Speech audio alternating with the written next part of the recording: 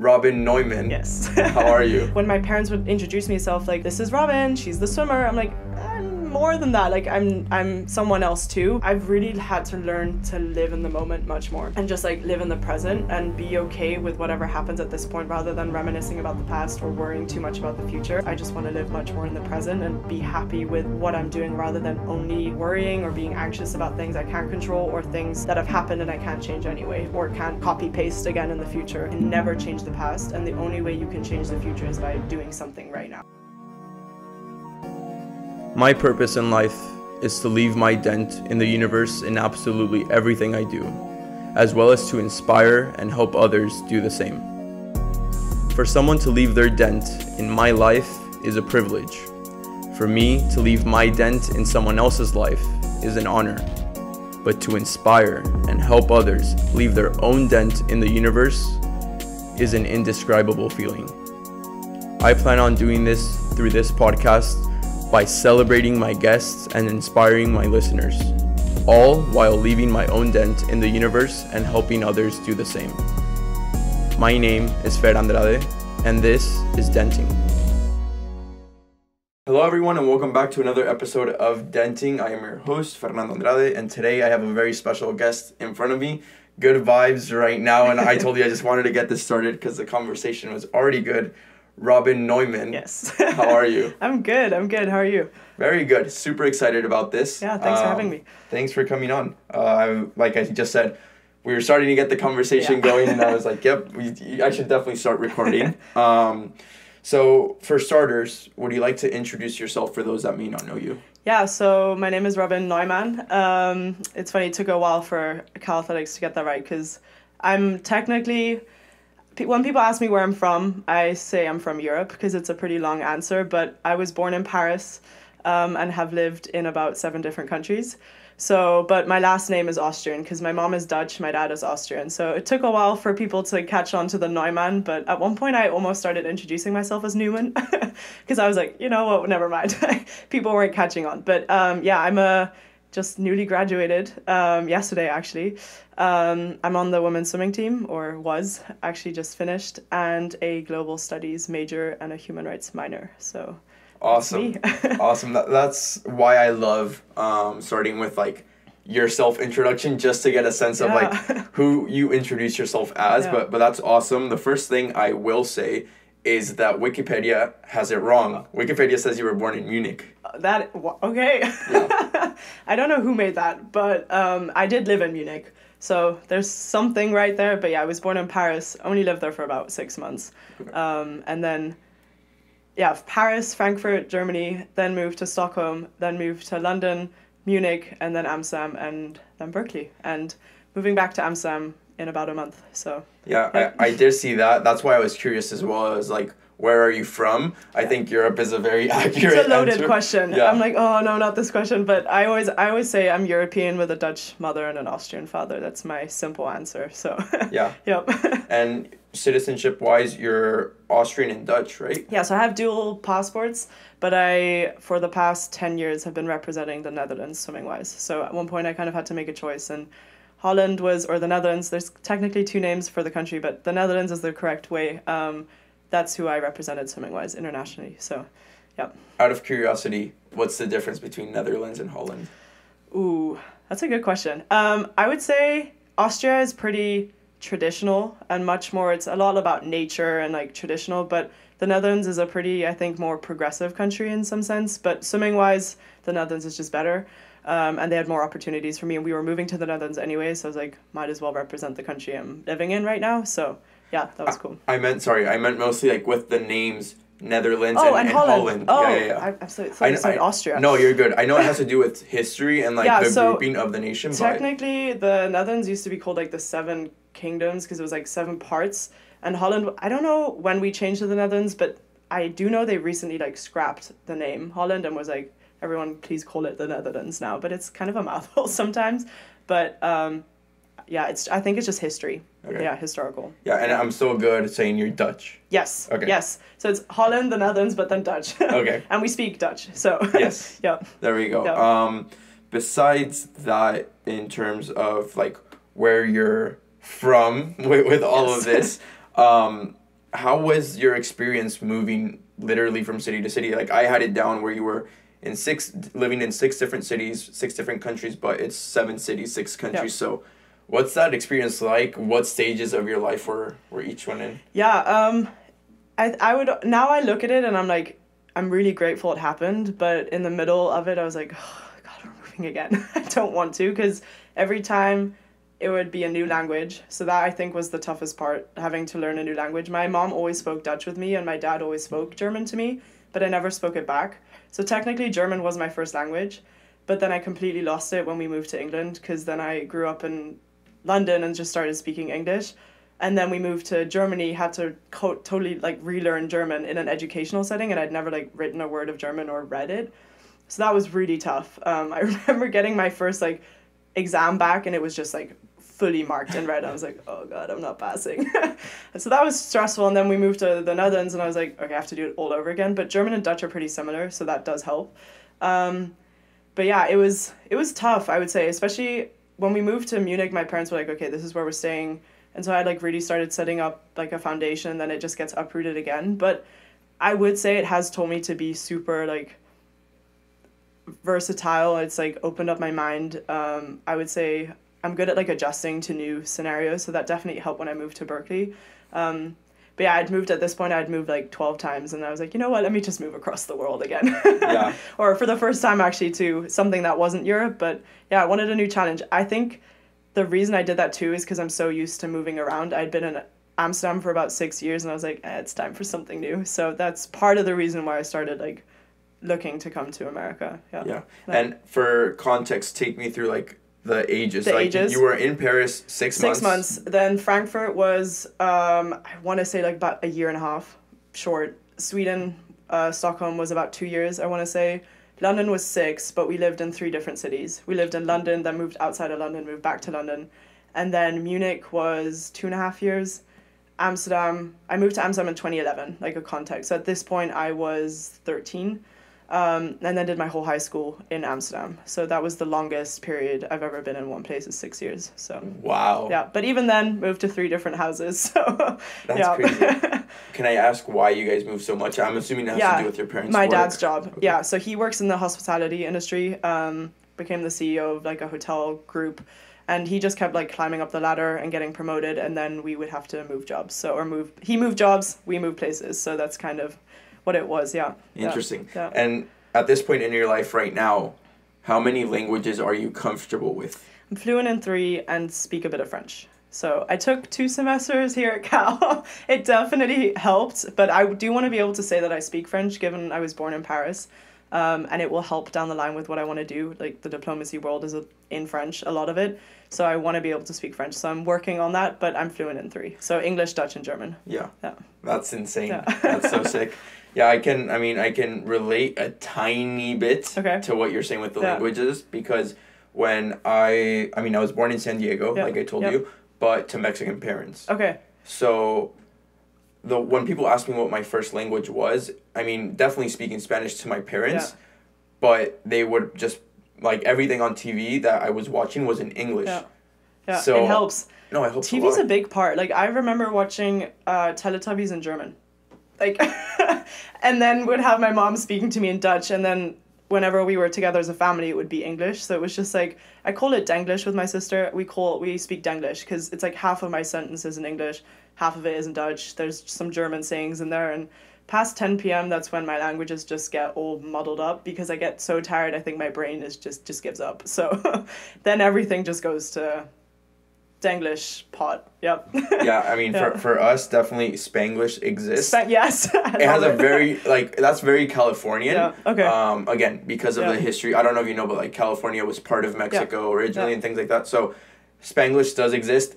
It has a very negative connotation. My parents would get Okay, pissed off okay. if, if I do that. Um, and I I'm kind of annoyed at it as well, but my friends do it a lot. Yeah, So yeah, it's it's nice. You could just like pick and choose from different languages. I think it's fun, um, and we make our own little language that way in my family. But it's interesting that it has a negative connotation. Yeah. at least in California, well, to just to for context, I kind of live like in a border city. Yeah. Not kind of, it is a border city. Okay. So I'm between both cities. Got not it. even kidding. Every single day. Wow. So I'm going back home tomorrow, Yeah. And home is San Diego. Yeah.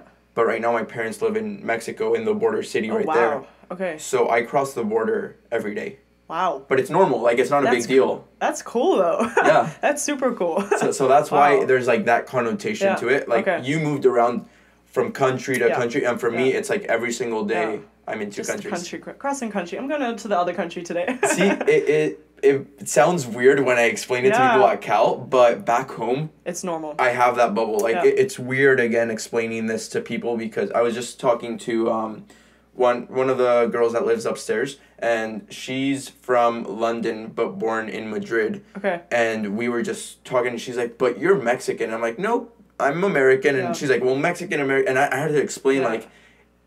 It's a very small cultural bubble Yeah. of people that are there and back Yeah. every single day. That's So, interesting. wow. yeah. That's pretty cool. it, it is interesting, Yeah, yeah. that's cool I, I I've come to appreciate it. Like I was mentioning Yeah. San Diego, I come to appreciate it once I'm not there. Yeah, I get that. I've come to appreciate Europe a lot since I've been here. I'm excited to go back. I've loved America, but I'm definitely I feel European at heart, so Yeah. I'm ready to go back.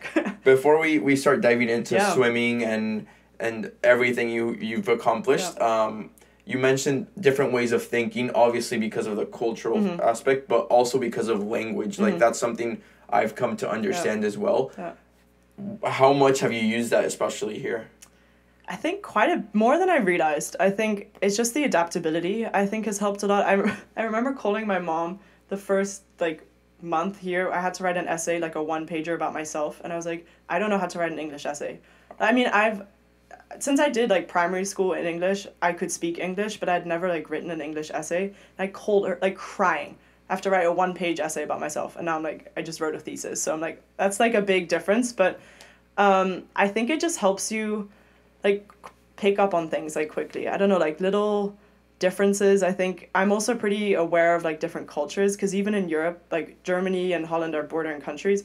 I said Holland, see the Netherlands, but um, they're pr- very different. So I think I've just always been I've been fascinated. I think just how different like Western European countries are, and even though the languages are super similar, the like it's very different. Um, it's hard to explain. I would say like kind of similar to it's, it's very like minute differences, but I think I mean one of the essays I wrote I wrote about how like each country has taught me something. So like England has taught me like how to be polite and like follow the rules. Oh no, Germany England was polite and then Germany was like how to follow the rules because Germans love their rules. And then Dutch was like to speak your mind because the Dutch just always speak their mind. So that's kind of like how who I am today is a little part of like each country, I would say for sure. Yeah. but that's so cool. Like you take inspiration from Yeah. everywhere and then create your own. idea. Exactly. So I'm a European mix, I would say. That's so cool. European Yeah. mix with a bit of America now as well. Yeah, yeah, I would say so. My mom actually and my parents were here and they were joking that I definitely have a more American accent um, after five years. Because I, I would say that's also because I've been so used to like adapting to different like dialects even. Because when I lived in Munich, two years down the line I had a Bavarian accent and my dad was like, oh no, please don't speak like that. but I would say definitely some American twang in there now as well. Well, even right Yeah. now, like I sense like a tiny bit of a British accent, and then European, and then a bit of Californian, Yeah, and it's, it's- all over the place depending on the words. Exactly, exactly. And honestly, it depends how I wake up that day. Like if I call my mom first thing that morning, then I like wake up Dutch. Or if I call my dad that morning, I'm like German. So it's like just kind of depends on like how I wake up. But I would say um, a lot of people ask me like what language I dream in. I have no idea. I think it depends on where I am. Because I think if I'm in America, then I dream in English. But I think if I'm back in the Netherlands, I dream Dutch. I, I don't know. Do you realize how powerful that is? Like what you just explained. really? Your adaptability between languages, just like that. yeah it's cool it's cool it's i'm i'm grateful like it was tough moving that often like losing all my friends and it's hard to keep in contact as like a eight nine year old ten year old with like friends back home but um it's cool i'm it's made me who i am and i think it's also really set me up for the future as well from things that i want to do so Yeah. no That's incredible. That's incredible. Yeah, I mean, I'm sure there's sacrifices. Like I was thinking, well, elementary school was three different countries or something like Yeah. that, and it's like, damn, like Yeah. at that age, it must be really hard. Yeah. But it's, I think it's paid off, Yeah, right? because I learned how to speak English in Stockholm at the international school in Stockholm by an American teacher. And the way I learned it is they had a Dutch girl from an older year come into my class and translate everything because I could understand Dutch, but I like had never spoken English. and so she would like translate everything for a couple weeks and that's how i learned to speak english so it's like even that is like an american influence dutch influence in sweden that's how i learned to speak english so it's kind of random but No, it's- a it- cool mix so yeah, super unique yeah. because the way i've explained it like when talking to other europeans i feel like the european union is basically like the united states but with completely different cultures the within. states are the countries basically i would say E- yeah exactly Yeah. that's what i always Yeah. say like when you were mentioning like different oh like um wait netherlands i was about to say holland. N- netherlands and germany. Yeah. Last week and you just said they're bordering. Yeah. last week i was in arizona. Yeah completely different. two hour flight. Yeah. Very different.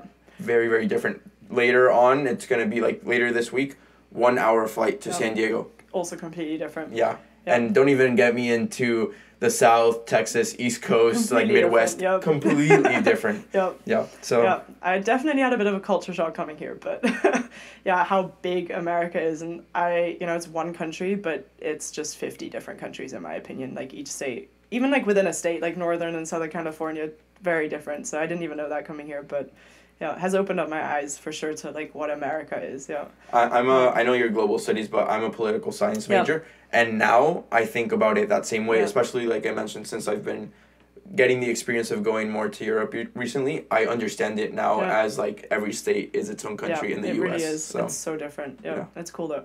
yeah. Well, let's continue with your story. You're all over the place. yep. When does swimming come in? Yeah, um, we I started swimming when we moved from Sweden to London. My mom had three young kids because I have a younger brother and a younger sister, and she didn't know what to do with us, and so she put us into swimming like camp basically, and this was two thousand and three. And the teacher, I, rem- I actually talked about this with her this weekend because we were like reminiscing about all these different things, and she was like, "Yeah, the teacher basically was like, yeah, you your daughter lies up higher in the water. You should do something with that." And my mom's like, "Okay," and I loved it. I went through all the like different. It was like penguin, otter, seal, shark levels or something like that, and within a like a month I had done them all, and I just wanted to keep swimming. So went into the club there, and basically every single move since I went into a swimming club. Um, I would say I started getting good when we moved to Munich, because that's when I went into like a more like elite like kind of level thing, um, like a more like exclusionary club, like where they have to invite you basically. Um, and then I became German national age group champion in two thousand and ten or nine, one of those. I can't exactly remember, and that's when I was like, okay, I can kind of do this. Like I'm kind of good. Um, and then get a started getting really serious when I moved to Amsterdam in twenty eleven. Okay, Yep. so you were around 12, 13 in Germany when, when you started to take those steps because it was 2010. That right? was yeah, n- 10, 11, yeah, because I'm 2009. Yeah, like 10, 11, I would say, yeah, because I was 12, 13 when we moved to Amsterdam, Okay. and that's when I that's when I started. Uh, I so when I was 13, between the summer of moving from Munich to Amsterdam, I had qualified for my first like international. It was the European Youth Olympic Festival in Turkey. it was kind of cool. It was really cool. It's like a mini like they tried to emulate the Olympic Games at like a really small level for like youth. It was really cool. We had like stayed in a village and everything, and then um, as of then, I got invited to swim with the national team of like the youth team. So when we moved to Amsterdam, I started training with the like youth regional training center group. So that's how I came into the Dutch Swimming Federation. How, how did you decide to swim under the Dutch identity? Was it because you got that invitation or did something else come into Well, consideration? so we when we lived in Munich, uh, I knew we were gonna move to Amsterdam, and my mom had reached out to the like, just literally looked up on Google like swimming federation Holland, and then like emailed some person, and they were like, yeah, by the way, if she swims this time, there's this meet, um, and that's when my parents and I like sat down and talked about whether I would want to actually really represent the Netherlands, because once you decide, I think it's like if you then want to switch to another country, you have to have two years where you don't represent a country. So kind of making that decision was like for good, kind of. Um, and then I qu- I flew by myself to Amsterdam, qualified for the European Youth Olympic Festival, and then I kind of went from there. So That's awesome. Is that the nationality you feel most attached to? ooh, I don't know if my dad would like this, but I would say so. I think also just because, you know, representing the Netherlands, like having the Dutch cap on your flag, like the Dutch flag on your cap and swimming for them. And I have been there the longest. I've never lived in Austria, but I definitely have family there and I do feel Austrian, like at heart. Um, but I would say that's the nationality I'm most like I would say I'm mostly Dutch. Yeah. Yeah. Sorry, Dad. I, I'm the same with my parents. I'm, I feel way more American than Mexican. Okay, I mean, they're yeah. not American, Yeah. so Yeah. I can relate. I think it just has a lot to do with where you've lived the longest, and that's the Netherlands right now. So, and I'm moving back there now as well. So yeah, that's Yeah. where my my family lives, my friends are. So yeah, that makes the most sense. So Yeah. So besides your like all the cities you've lived in, the traveling is pretty amazing as well, right? Yeah. You were in Turkey. I saw that you competed in China, in Israel, and then once you got into like the senior national Yeah. team, well, I mean that that opens all the doors, Yeah. and then you come here and you're continuing to compete everywhere. So. How was that experience now that you have already experienced so many cultures? Was there a level of maturity that you saw that you had in comparison to others that didn't? I think so, a little bit. I think it's just like opening up your eyes to like the whole world. I think I counted I've been to like 48 countries, which is insane at 24 years old. Um, and a lot of those are where I only see the swimming pool and the hotel, but it is cool like you drive by and you're in that country. Um, I went on my first training camp when I was 9 years old to Cyprus. And my mom actually decided that she thought it was so scary that she booked the hotel next to us and just stayed there in case it went wrong or I wanted to go home. Um, but yeah, nine years old being in Cyprus for two weeks away from your parents is pretty young thing to do.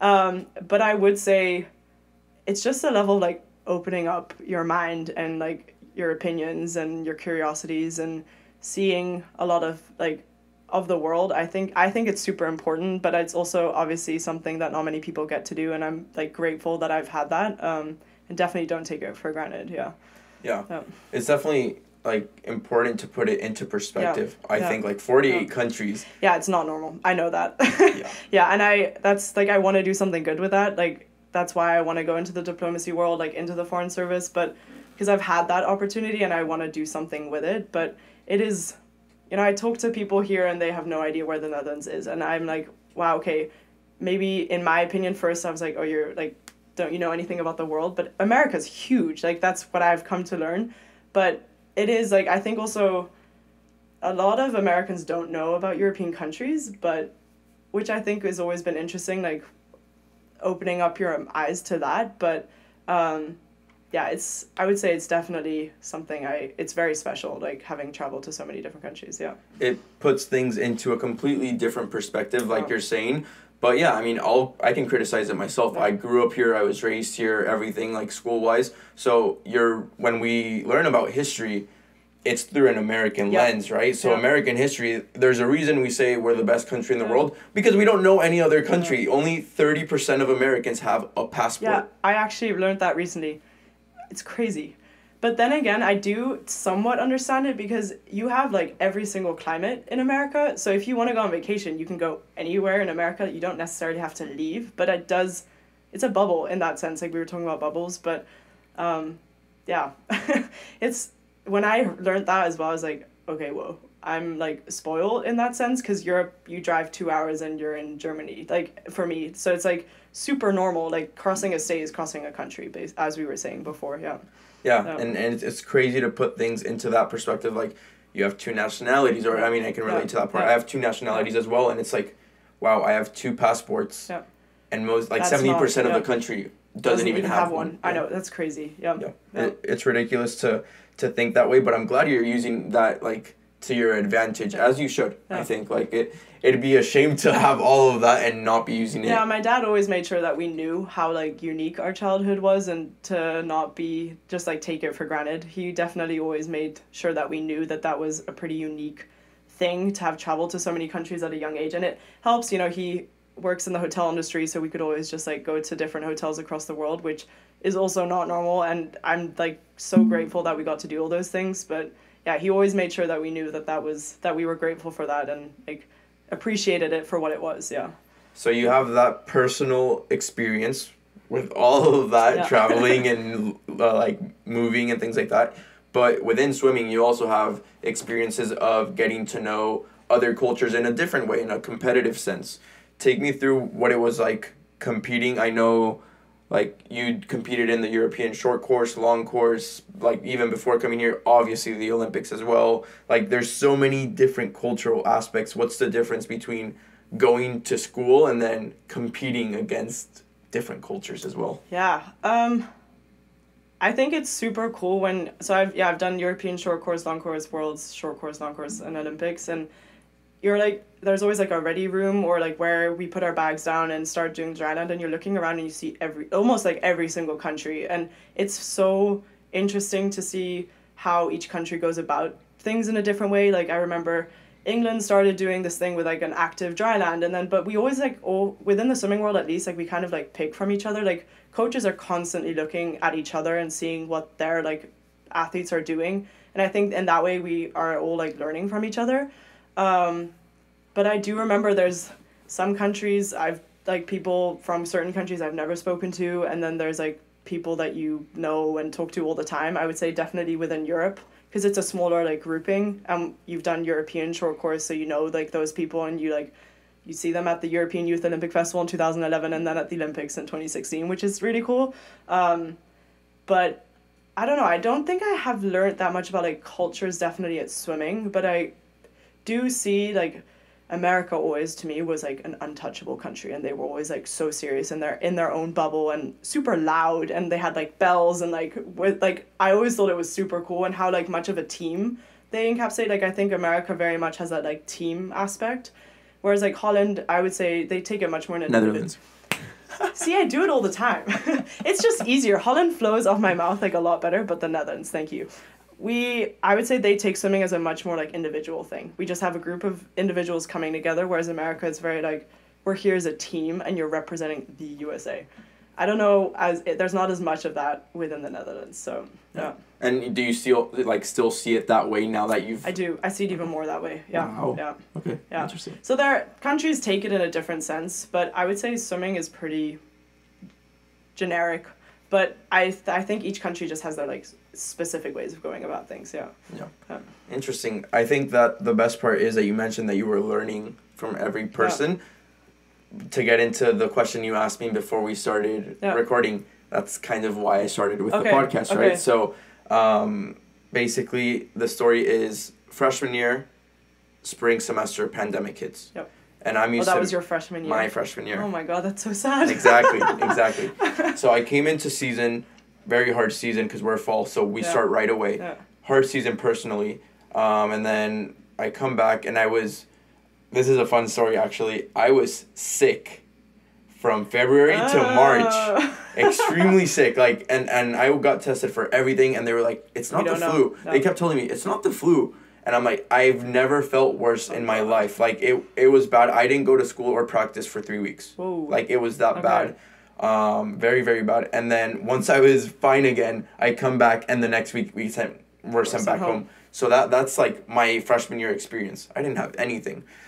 Um, I think it was yeah, it was yesterday actually that I got my two year notification on Google Photos. But basically, I was very bored at home, Yeah. like most of the world. Everyone. Yep. And something I got into was reading the news. That was my goal for Mhm. 2020. Like New Year's resol- resolution was just reading the news a bit more. That's a great one. So I, I got into that a lot and I was reading all these things and I got really pissed off, not at the world, but at my friends, or not pissed off, annoyed at how misinformation was Mm. guiding them during the pandemic. So what I did was, oh, I'm already reading all these news sources. I'm sending them the links and they're like, dude, I'm not going to read all these links. so Stop sending me all these things. exactly. So I was like, what can I do? So I took all these links from different sources, I summarized it, and I would make a video every single night to explain to them what was going on in the world. Cool. Yeah. I like that. So that's a cool idea. yeah, so that's how I got Yeah. into it. And then one of my dad's best friend's daughter caught on to that. She's a few years older than me, so we hadn't met. She saw that and she was like, "Oh, I'm into content creation. Let's start making videos." So she was recording, I was writing and speaking into the camera. That's cool. Yesterday marked 2 years since I put No the phone in front of me for the first time and started talking into That's it. awesome. And through conversations, things like that, it was all in Spanish Okay. but I was like, damn, if I come back to Cal, I'm not gonna be doing this anymore. How can I keep it going? One, how can I keep it going? Yeah. Two, I want to get to know people, Yeah. but I don't enjoy going out. Okay. What can I do? Yeah. Perfect. Yep. Perfect solution. But but the point is that in the same way that, that you're taking little things or that the coaches are taking little things from every Mhm. team or things like that, I'm kind of doing the same thing. That's like cool. at the end I have like a list of lessons that I learned from every person, and then I put those That's together, really and it's impacted me Yeah. a lot. I was um, I was talking with who was it? I was talking with Eloise uh, earlier this week Yeah, awesome. and we were just talking like leadership things Mhm. and within teams and things like that and she asked me like what we're doing within our team yeah.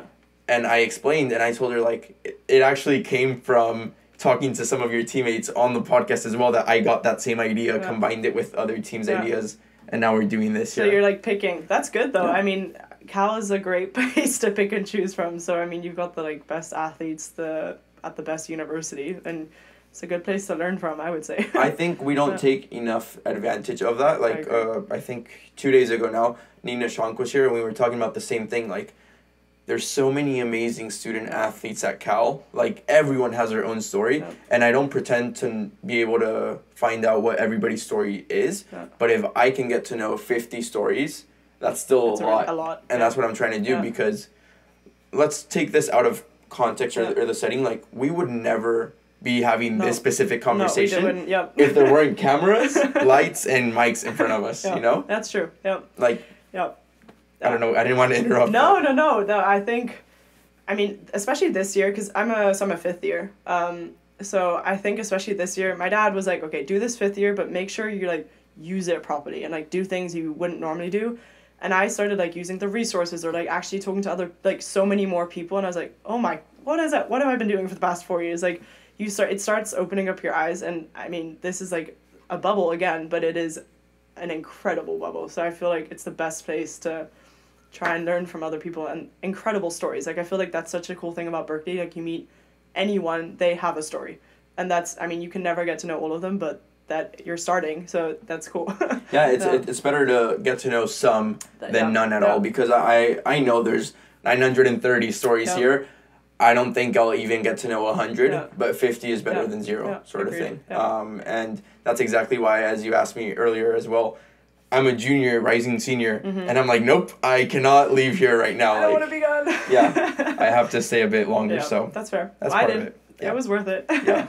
Yeah. So, as you start competing more and more, take me through that experience of European short course, European long course, like as the, especially leading up to the Olympics. Mm-hmm. Was that a goal you had? Was it like something you thought about as a kid, or did it just come? Um, no, it's I've definitely always wanted to go. That was the dream. I remember I was in vacation in Italy in two thousand eight, and we it was the Olympic Beijing Games, and the Dutch uh, females won the four x one hundred freestyle relay, and I remember sitting in the pool watching it, and I was like, I want to do that. That's that's who I want to be, and. Um, at that point, that's when I was like, okay, I want to do this seriously. I remember like even telling my parents, I was like, that, that, I want to do that.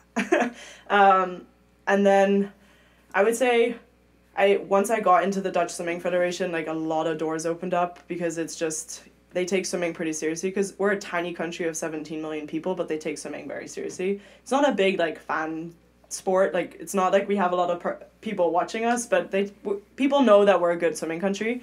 Um, so once I got into that, I was like, okay, I'm pretty, I'm set, and if I do well, then I'm good. Um, and I kind of got good like all of a sudden. Like I didn't think, I never thought Rio would be possible. It was kind of always like twenty twenty was like, I think age wise like the goal more. Um, but I, I had an operation on my nose, like on my sinus in 2015. Took like three months off, and then my coach was like, okay, if we want to make the Olympics, how are we gonna do this? And at this time, I was swimming backstroke still. And he was like, "There's a spot in the four x two hundred freestyle relay, and I think you're pretty good at freestyle. How about we just switch it?" And I was like, "What? Why would you do that?" Because I had been swimming backstroke like all along, but I trusted him. I loved my coach. I was like, "Okay, you know what? I'm just gonna I'm gonna trust you all this way." And then all of a sudden, I made European short course within like three months. I'd gone like seconds off of my PB, and then that December, I almost got the qualification time. And then I was really like on the potential Olympic list as of January 2016 and like started going on training camps and like really started going with the senior national team, which I hadn't until then. And then in April we had our qualification and I I think I saw him like a two and a half second PB, which is just like not normal in swimming. I, I don't know That's what insane. happened. It's unreal. Yeah, it's crazy. And then all of a sudden I was second and you can only have two people per country per event and I the girl who was third was 0.02 slower than me. Wow. I so I I don't know. I must have had like the perfect finish, and that's how I got to swim. So I qualified with the four by two hundred, but because I was second, I also got to swim the two hundred freestyle individually.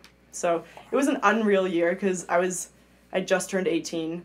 Um, I I was all of a sudden with like my idols, like the my roommate at the Olympics, or she wasn't my roommate at the Olympics, but at Europeans that year was one of the girls who won the relay in two thousand eight, and I remember being at the European Championships in May in London, and we had won a medal at this championship with her, and I just like. I remember like idolizing you, and now you're like my roommate. I was like, this is insane. That's crazy. Yeah, so- Idols become roommates. yeah, Femke Heemskerk. I've always looked up to her, so she's she's cool. That's amazing. Yeah. That's incredible. Yeah. With with the thing you mentioned about freestyle, I could have sworn like from from what the information that is Yeah. available, it's all freestyle. Yeah, because I got I started getting good when it was freestyle. Like that's when I like started qualifying for senior international meets. But like the Youth Olympic Games in twenty fourteen, I was a backstroke, and then the Olympic Games two years later was freestyle. So, yeah, I mean a lot of freestylers do backstroke, and it's not like it's more like freestyle backstroke and breaststroke and free uh, fly are more kind of the groupings you tend to see. So it wasn't like that big of a switch, but you know we switched in August, the Olympic year. I don't like I don't know. You always feel like it's a four year period towards the Olympics, but I had nothing to lose.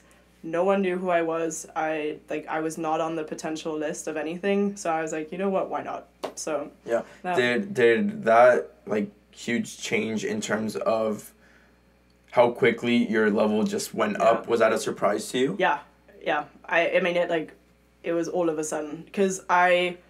I mean, in August of 2015, I was still kind of a nobody, and that's when I f- like went to the because I'd gone to the senior training center the year before because I was starting to get good, but the backstroke just wasn't really taking me anywhere. So that's where I was like, okay, let's do a switch, I guess. Um, and then all of a sudden, I'm going to Thailand and Tenerife and Malaga on like training camp, and I'm like, what? Whoa!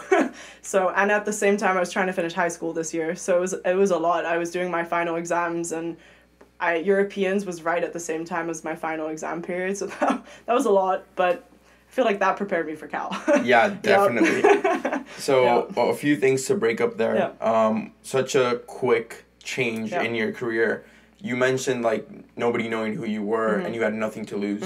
Take me through that underdog mentality. Was it uh like it definitely takes pressure off, but how much did it help you?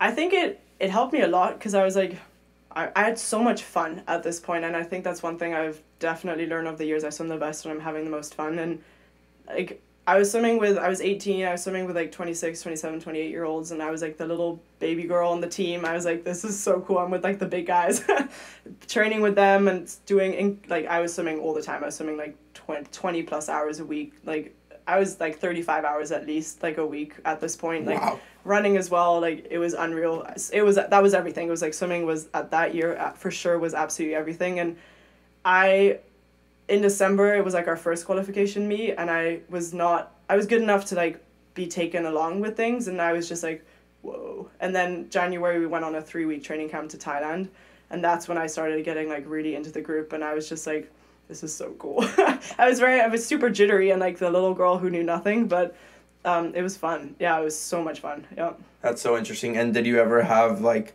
were you having fun and taking the pressure off or did you also have a sense of like the hungry underdog that's Yeah. like has that competitive edge I would say well? from like August to December, like it was super underdog. It's just see what happens. But then when I knew I was slowly like I had a shot as of January, I was like, okay, I like this is kind of it. Like I need to do this, and I was getting super hungry for that. Yeah. So I was like, it was like reachable. It was like right there, and I was like, this is what I want. Like, I should go for it all the way. Um, and I I remember talking with my coach in January in Thailand. I was like, I actually think I could kind of make this, and I was like, did I just say that out loud? Yeah, I did. but um, that's when I realized it was possible. Um, and yeah, four months later, I qualified, so that was pretty sick. But before we talk about that qualification, um, to go back on, to your point of like getting to know different stories and Yeah. taking the best from everyone. Yesterday, Noah Newfield from uh, men's gymnastics, he's a sophomore. Mm-hmm. He was here, and he's going through that stage right now. Was so the best stage ever. Yeah, so- so- I want to go back. he came in as a senior in high school that was, according to him, a medium recruit. Like Okay. he was not one of the bigger names in the sport, and right now he's like on the brink of making the national Wow. team. That's awesome. So he's like right there, and he's like, but me being the underdog is what's driving me right Yeah. now. Yeah. And you saying that is oh, so it interesting. definitely, it definitely. I was like, I, I was like, I want to prove people wrong because I really did because it wasn't like people were not rooting for me. I think everyone's like, whoa, okay, like this Robin girl is like, who is she? Like we're kind of, I'm kind of coming up, but. I was like, okay, I gotta prove to them that I can do this because I don't think anyone really else thought in January that I was like actually gonna make it because I was nowhere before. So it was like kind of like unheard of. Whereas all these older like professional athletes had been training for this for like cycles and years, and I was like, how cool would this be if I actually like could do this? Um, and my parents were always like, stay humble. Like it's okay if it doesn't work out. Like they've always been like the best supporters, but. I was like, no, I'm doing this. I was like, I need to, I, I'm just going to prove that I can do this. Yeah. So that definitely was the driving force of that. Yeah. He definitely said the same thing of like I have something to prove. He was Yeah. rookie of the year, and then in the post interview, he said, "No, I still have something to prove," That's which is yeah, it was never enough. never. it's never ending. That's definitely like an athlete mentality. Yeah. Did you have your ego start to boost up at that time, or not really? No, because um, Femke Heemskerk, I remember at European when at European short course, she like for the first time said my name, and I was like, whoa, Femke knows my name, and I rem- I kind of same like I wanted to learn from her because I was like, you are so cool, and she told me she was like one of the coolest things is staying humble as an athlete when you like are rising. She was like, I have always made sure that I am so grateful for everything that comes, and I'm like humble in the experience, and I was like okay, I think you're super cool, so that's what I'm gonna try and do. And I think that's definitely been uh, something I've tried to like take with me as well. Is like no matter how successful or what's happened or whatever opportunity comes at me, I like want to stay humble in it because I've seen athletes who don't do that, and I'm like, mm, it's not. I don't know. I don't think it's like the way to go personally. Um, so I remember her saying that to me. I was like, okay, yep, that's that's who I want to be.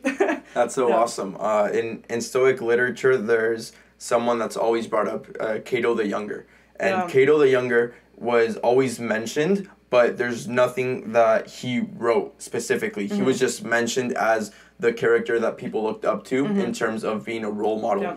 Yeah. and that's like what modern Stoicism is saying. It's like.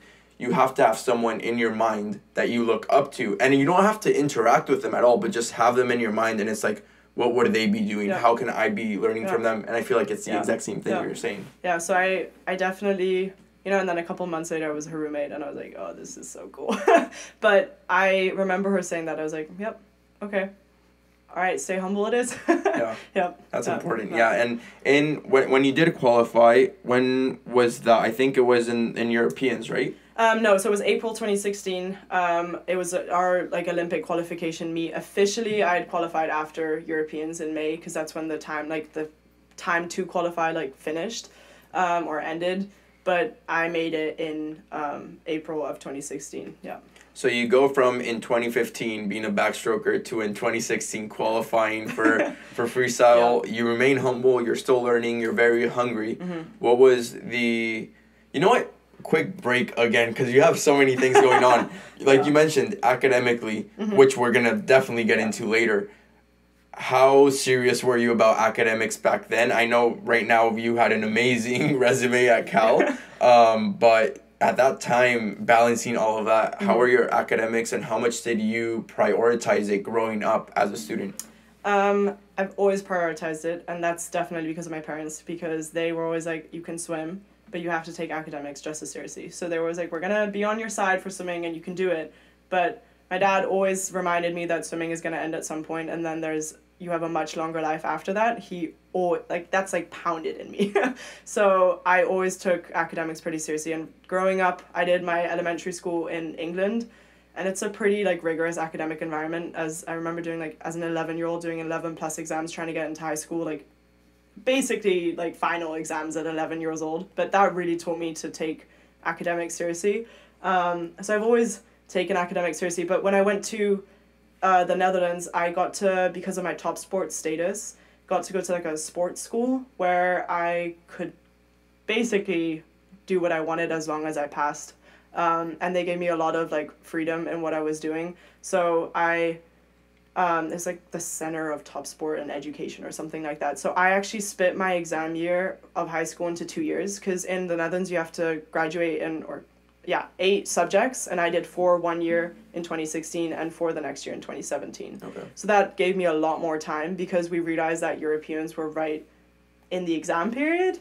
I, I went, I did my German exam and then flew later to London to meet the team.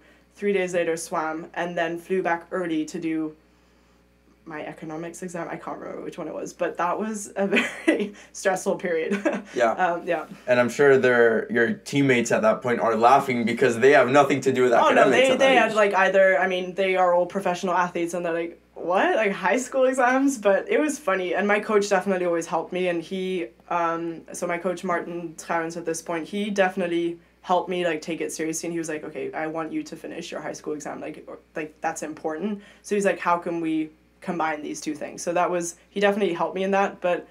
I it was never like I'm not gonna do it like that just never was an option. It was always take academics just as seriously as swimming. Yeah. So you're taking academics extremely seriously your whole life. Swimming, as you're mentioning it, you're like you bring it up and Yeah. you're like writing it up right now. You're like super excited about it.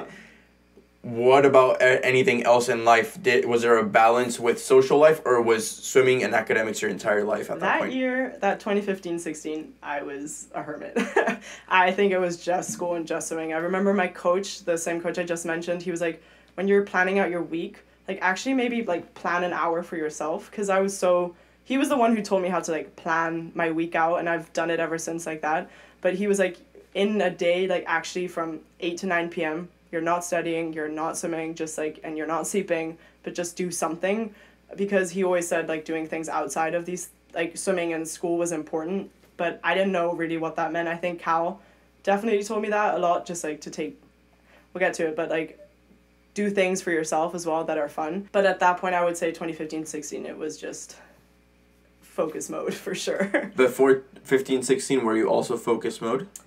I would say less. I mean, always academics, but I think just more socially because swimming wasn't. I didn't know if it was like really taking me anywhere, so I, I was definitely serious. But I've always been a pretty serious person, especially in the pool. Um, but a little bit more. But yeah, 2015, 16, when I realized I actually had a shot, I was like, okay, that like. I'm going. I'm going focus mode. And in Yeah. 15, 16, what were you doing from 8 to 9 p.m.? Like, what were some of the things you Probably just watch Netflix. just chill on the couch with my dog and watch Netflix or just like yeah, yeah. And through that planning of the week that you mentioned, that you still do to this day, what does that look like? And when do you do it? Is it like on Sunday you plan the rest of the week, or, or what do you It's do? It's been like a I would say like learn from my mistakes. I would say I used to I remember coming at Cal like read every single word. I think every freshman is petrified and now I'm like, nah, we're fine if I just skim through. But I think I've definitely learned to prioritize like friendships and social life because that has like it helps me realize I'm more than just like a swimmer or just like academics or whatever. So I would say this year is a bit different just because I really prioritize that above anything else because I okay this is my last year in America like I need to make the best out of it and I'm never gonna like I'm not gonna see these people for so long or I'm never gonna live in America. I think I don't know what happens later on in life but um, I would say the past like for the four the first four years I think it was super cool coming here because I saw like Kathleen Baker and like all these Abbey Weitzeil and they were like having fun outside of the pool and I was like okay if they're doing it then I could do it. And that taught me like okay there's academics and there's swimming but having a social life and doing fun things is equally as important Wow. No. Yeah, that's powerful. And before, again, we get into the Olympics, when does Cal recruiting come That into year. it?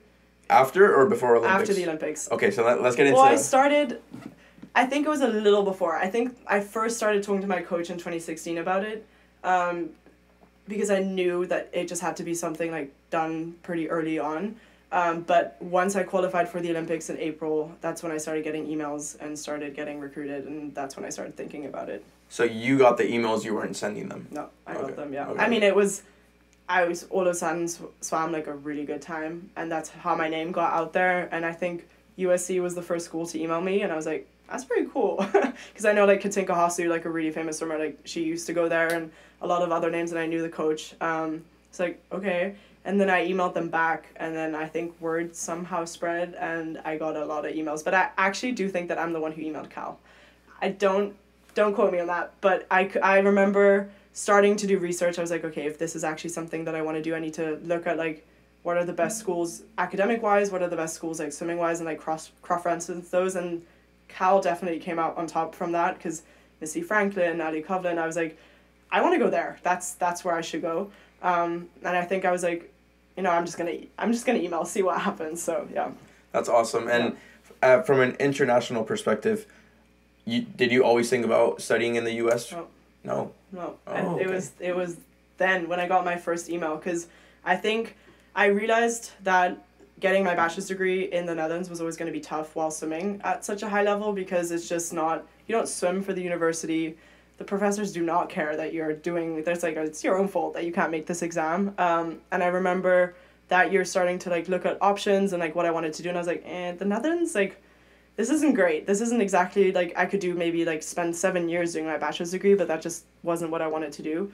And then i got the email and i was like perfect. Like okay i want to go to america. So yeah and how did you decide cal when you had probably a good amount of options. Yeah, so after the Olympics, I flew to America by myself, which was petrifying, and visited five schools back to back. And I think it was like USC, Arizona, Cal, Georgia, Stanford, stuff like that. And um, I, I think I was at Cal the least amount of time. I was here for like less than 24 hours. And I just like clicked with the team. I love the idea of being like close to such an international city of San Francisco. I love the idea of swimming outside. um, and then I was like, okay, this is just where I have to be. Yeah. That's so awesome. Yeah. That's yeah. so awesome. Well, we can't jump over the Olympics. Yes. so, what was that experience like for you? It's in Rio that year. Mm-hmm. Uh, it's a normal Olympics, especially because yes. I've talked to many people no. that went to. Tokyo, um, and that's definitely special and unique. But in in Rio, what was that experience like at that age, mm-hmm. Uh, with those teammates take me through that. I know you were in the 200 free and the 800 free relay, mm-hmm. right? Yep. Okay. So those are the two events that I swam. Um, when I actually think about the Olympics, I don't. I didn't have the best experience. Um, I mean, it was incredible that I was there. I was 18 years old. I I was just like the wide eyed like puppy tail. I was like, what is going on? um, I remember going to the dining hall and looking to my right, and all of a sudden Usain Bolt was standing next to me, and I just like what am I doing here? I do not belong here. I mean, walking around like the Olympic Village and seeing like Federer and like Nadal and all these like the most diverse amount of people like you've ever seen, like the tallest, the shortest, like the like the best of the best. I was like, this is so sick. Um, but the Dutch team itself didn't do very well. It was the first time we didn't win a medal since 1992 in the pool.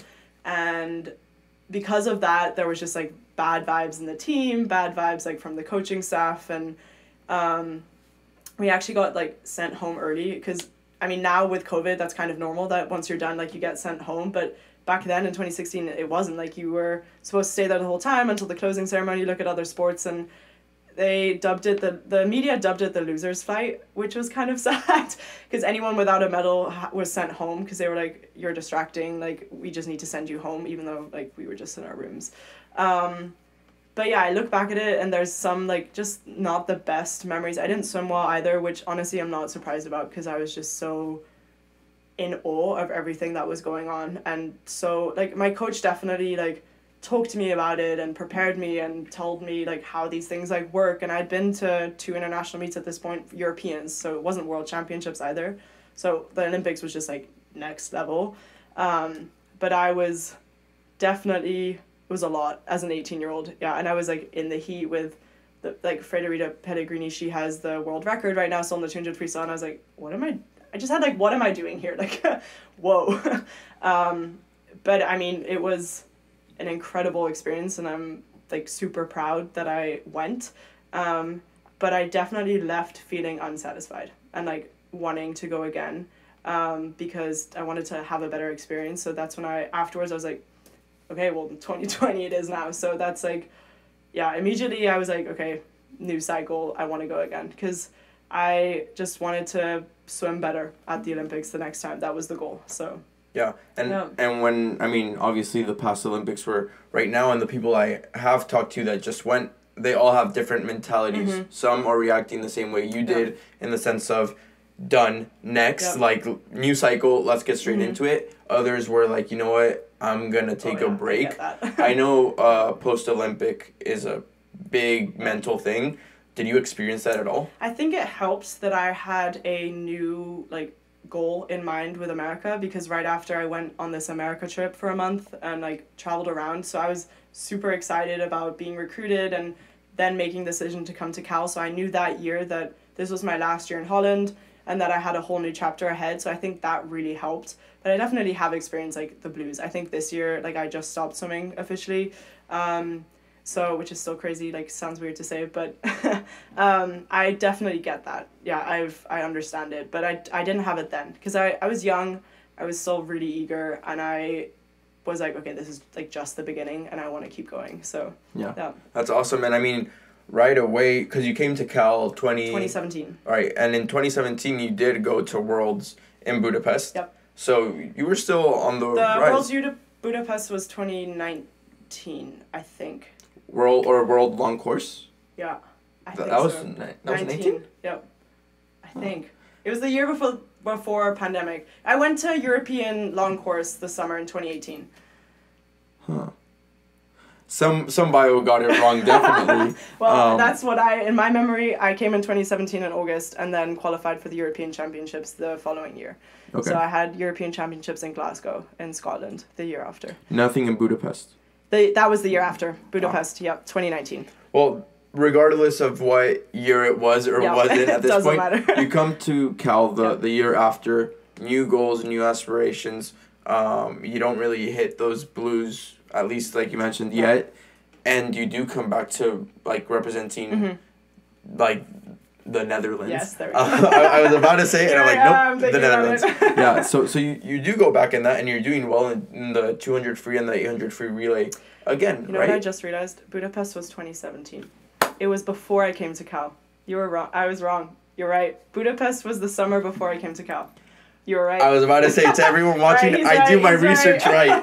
I take Budapest pride. was 2017, and I actually did do very well that year. I made semifinals individually, so that was like the first time that I like made a final, like my or semifinals. But I was like, that was so cool. I was 16th in the world. I was like, this is awesome.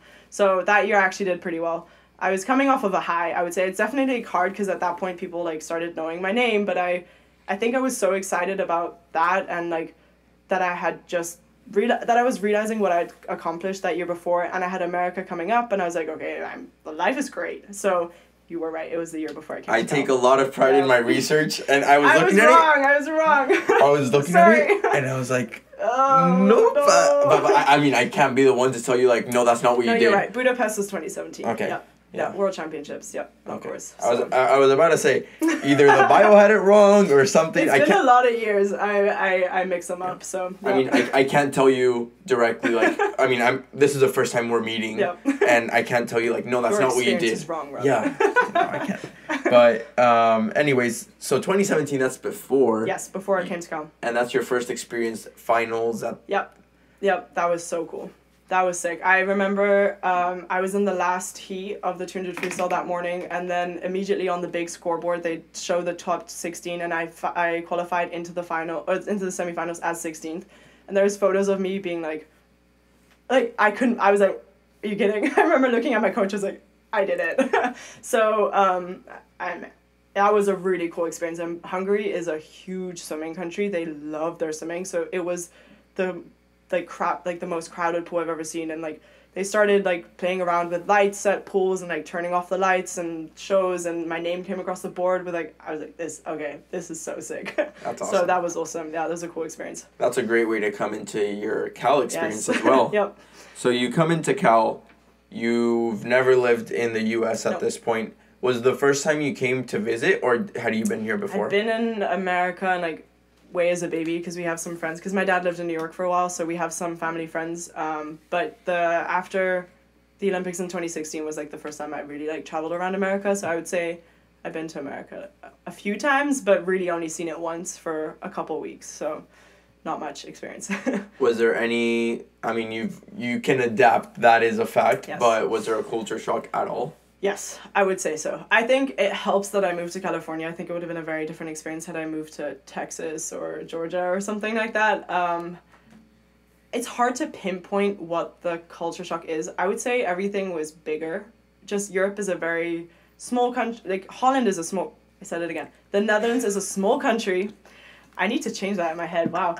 The Netherlands is a small country. Amsterdam is tiny, and you bike everywhere. And now all of a sudden you have to like drive everywhere, and there's so many people. And I mean Berkeley itself, I would say, is a culture shock for anyone who comes here if you're not used to it. Um, but Amsterdam and Berkeley are pretty similar because Amsterdam is also very open minded, free speech, like all that. So that helped, I would say. But just, you know, coming, moving across the world, shock, I would say. yeah, because I mean, I was telling you, I've never been to Amsterdam, but Yeah. I do know that it has a reputation of free speech Yep. and how progressive and it we're the first country who, le- who legalized gay marriage and uh, soft drugs and stuff like that. So we're a pretty progressive country, yeah. Yeah. So there's that, but at the same time, it's college, it's the U.S., so so there's definitely something different. Um, I I just posted something like before this because it's this was my first relatively normal spring semester. Yeah. Like relatively because even at the beginning of this semester we were online. Yeah. So I posted with that caption and one of my roommates just comments like nothing is normal in Berkeley and it's like yep that is That's so true. Yeah. Yeah. but luckily I had a normal freshman and sophomore year. Yeah. So that was that was cool. Yeah. take me through that experience your your freshman Oh my year. gosh, I was so homesick. I I was way more homesick than I thought I would be. I called my mom every single day. The first semester was rough. I think also coming into a team, swimming had always been a super individual thing for me. My I was swimming with eight people before this, and all of a sudden you're in a team of twenty five girls, um, with a pretty, you know, huge culture of excellence and a lot of requirements and norms and values and histories and traditions and I was I was overwhelmed um I think as any freshman is and living in the dorms and doing I'm not sure I understand. I'm s- what okay watch thank you um we were just talking about Apple watches they're they're great but they are funky Us? this or, was Siri No, I know that was Siri, but who was talking about Apple Watches? You or weren't we talking about that with the notifications oh beforehand? yes Yes. beforehand Yes. Fu- So, fu- fun anyway. fact: the only people that has happened to here were both women swimmers. Like mid podcast, something comes up. oh okay all right we gotta fix that Yeah.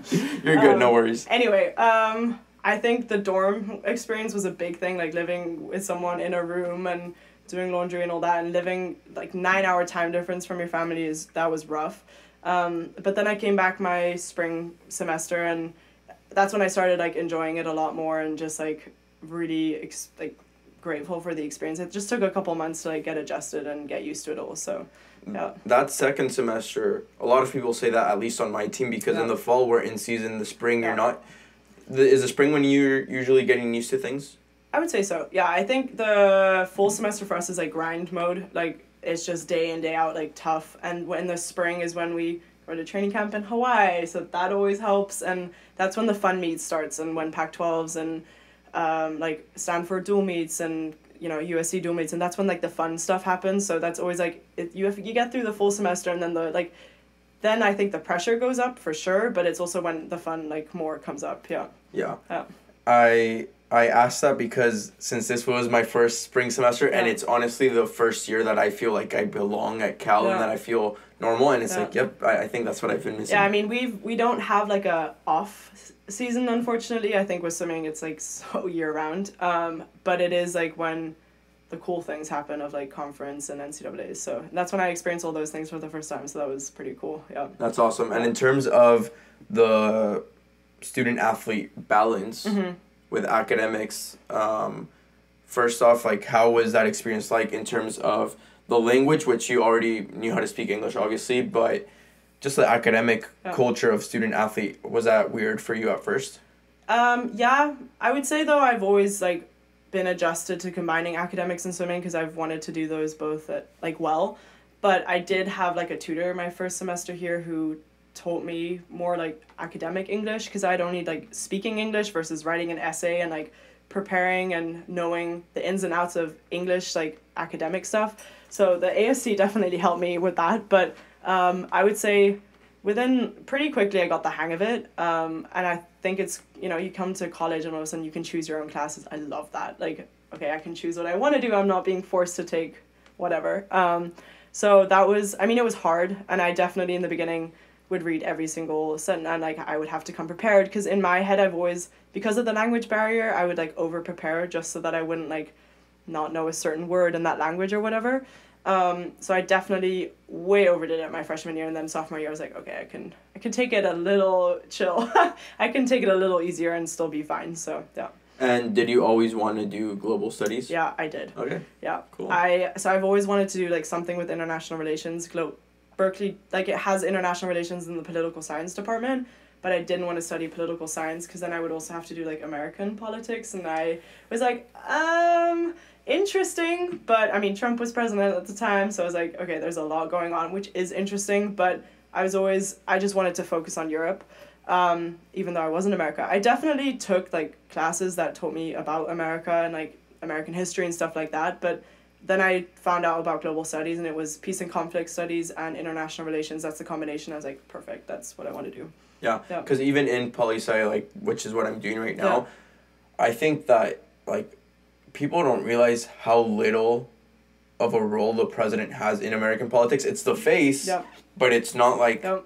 the main person Yeah. doing everything and making decisions. Yeah. But at the same time, that's always the examples they use right now in my classes. Like it's always the difference between Trump and Biden, Yeah. and it's it gets so annoying Yeah. right now. So And I, I didn't want to be as theory heavy because I think poli sci is pretty like theoretical for at least from like what the research that I did and global studies is much more we're gonna take the issues and like of the world or whatever historical contemporary and then like how do we what went wrong how do we change it what can we do better like in the future that's kind of what I would say global studies is and I was like okay it's much more like real to like day to day like examples and I was like I don't want to be as like theory heavy so that's why I chose global studies yeah so you're more into the policies. yeah, I would say policies, but also like more the NGO like type of world, like or like the international, like the foreign affairs like world, some, stuff like that. Um, I just didn't want to know about like certain political like theories as much, but I've definitely taken like some poly like public policy classes as well. Yeah. Okay. Yeah. Interesting. Yeah. I feel like if we divide it into three categories of why, how, what, Yep. you're probably more into the how part, like how things go yes. about, Yeah. and Yeah. I'm more on the why, which is the Yep, theory, exactly. philosophical Yep, part. That's that's exact. That's perfect. That's a very good description of that. Yep. yeah, yeah, Yeah. yeah. Well, well, that's awesome. And adjusting to the team, you said like you you learned from people like Abbey, for Mhm. example, of wow they can have fun or things Yeah. like that. How was that experience as well as with um, NCs, for example, or Pac twelves? Like the difference I've seen with some international students versus domestic, like just growing up here. People dream of being college swimmers their entire lives. Yeah. They dream of oh a Pac Go to twelve, Yep. NCs, go to Cal, Yeah. things like that. How long did it take you to understand that? It took me a while. I think I I think I first really understood that in season twenty eighteen. Um, I I mean I was definitely a freshman. My team also really you know treated me like a freshman as they should. I think that's super normal because back then I was like ah, I know so much. Like as most freshmen come in, they're like thinking they know so much, but we really don't. Because you know going swimming in a team is super different than swimming for yourself or even like swimming for your country. At least in the Netherlands, because it's pretty individually based. Um, so I had to learn what like being in a team, what that meant. And I think you have, especially people who come to Cal, they're all probably the best of the best, and everyone like comes together. And that's I think why it was important to like be treated like a freshman. Because even though yeah, I'd been to the Olympics, like I'd never been to NCAA, so I had no idea what that meant. Um, but yeah, going. I think my NCAA's in twenty eighteen were in Ohio, if I want to, if I say that correctly. Um, and just like how you're not swimming for yourself like you're swimming to score points for your school and for your team. I love that because it like you're doing it for someone but other than yourself. You're doing it for something much bigger than yourself and i love that. So i remember like i lost my voice day two and just like screaming. I've never been so invested in someone else's swim and i was like that's so cool.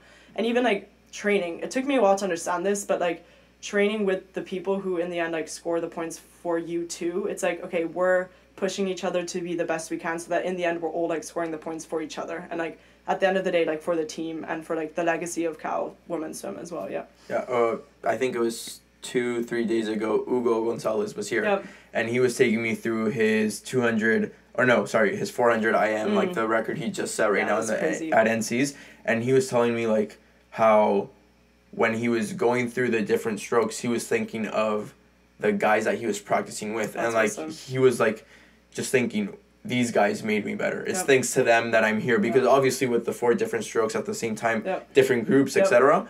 But he was just thinking like with breast, he was like these guys Yep. are the ones that pushed me, and I wanted. He, he like he's saying this. He Yep. said I wanted to show them how much they've helped me get here. That's and that my result is thanks to them, and I was like blown away Yeah. by that, and it's the same thing I've you're saying. definitely felt that because me swim the 500 freestyle, which is a pretty grueling event. I mean, nothing compared to the mile, um, but I did not want to do the 500. I was convinced I was a 100 freestyler, 200 freestyler, but she kind of turned me more to 200, 500. And those long distance sets, oh my god, the, the grueling. So, you know, during a 500, that was 100% for my teammates and 100% for the people who had done all those grueling sets with me, and they were the people who were swimming next to me, and I was like cheering me on by the side. So I did that for them, absolutely, on every 500. Yeah. yeah. I did notice, yeah. I mean, you were obviously in the relays as you Yeah. have been. You were in the two hundreds, hundred, but then the five hundred Yeah. came in, and that Yeah. was interesting. Yeah, so that more really came about my sophomore year. I would say I didn't, yeah, I didn't qualify for that. My, uh, I did swim it, but it wasn't good. At my freshman Pac-12s. year. Yeah. Yeah. So, but I started getting good, I think, in that my sophomore year, um, and then doing even more. Whenever someone would hear their name, like X Y Z, you're with Robin, it would be like, oh shit, because they knew I would, they would be a long distance set. So Oh, I got was it, got always it. like, I don't want to swim with Robin. You were the Yeah, negative yeah, connotation. kind of. and there, and it was same with me with other people, so it was kind of like a circular thing. Yeah. Yeah. Well, that's Um, kind of cool that you get to experience like that individual set Yeah. with others. Yeah, sort of definitely. yeah. Well, at Pac-12s, I mean, if my research is right I, I mean, I, you pride yourself on your research. Pac-12s, you were third in the 100, 200, 500 Mhm. free. Mhm. So your 500 wasn't too bad. Like a third at Pac-12s for your first time is okay, I don't good. remember that, but Okay. uh, that was already five years ago. But yeah. yeah, I guess so. I guess I was good. I think at that point I didn't know how painful the event was because I think it was like the second time I swam it, so I just kind of went for it. That helps. Um, I did swim at NCAA's, but I think I started getting like way better at it, like time wise, my sophomore year. Yeah. Yeah. Yeah. And even at NC's, like you set some pretty good points. You had a fifth place in the 200 free and then bronze in the 800 relay, Yeah. which was awesome. And you won the 800 relay, uh, or you were part of the team that won Yeah. the relay Yeah. at Pac-12. So Mhm. that was a good start for Yeah. you. At the end of the season, you receive a coach's award. I'm not sure what where that comes from or what it's about, but I think it's just anyone who the coaches think have like shown like great spirit or like dedication or have improved a lot or I don't really know what the exact factors are, but I won it with my freshman roommate. We won it together. It was like, oh, the two international roommates, and I was we were like, ah, that's so cool. so yeah, that was pretty awesome. Yeah. so it's a good start for it was you. a great freshman year. Yeah, Yeah. I would say it was tough the first semester, but the second semester was great. Worth it. Yeah, So you're, you're on the rise again um, in your swimming career, especially as you mentioned after that chapter with the first cycle of the Olympics. What happens next in terms of, let's see, I mean, obviously it's your sophomore year, same events, you're scoring well again internationally. Where, where are things at there? Um, so I did European long course championships in 2018 that summer, and it was hard like coming back to the Dutch team after like being gone for a year and just kind of adjusting to that and swimming with the national team again and that I think was a lot of like adaptability. I was like going from America back to the Netherlands and then in August back to America again. So that was a lot of like change. Um, but my sophomore year, I, I loved my sophomore year because 2019 NCAAs I think is my favorite meet I've ever swum at. So Take yeah. me through it. Yeah, so we we almost won. We lost by 12 points uh, to Stanford, and Stanford at this point had won, I think, four years before that. Like they were the like the team to beat At NC's. at NCAA's. Yep. So and I remember we were in the warm down pool and people would be like, "We're for you guys," because they just wanted us to beat Stanford. So it was very much Stanford versus Cal at this point, and um, it was in Texas, and it's known to be a pretty fast pool.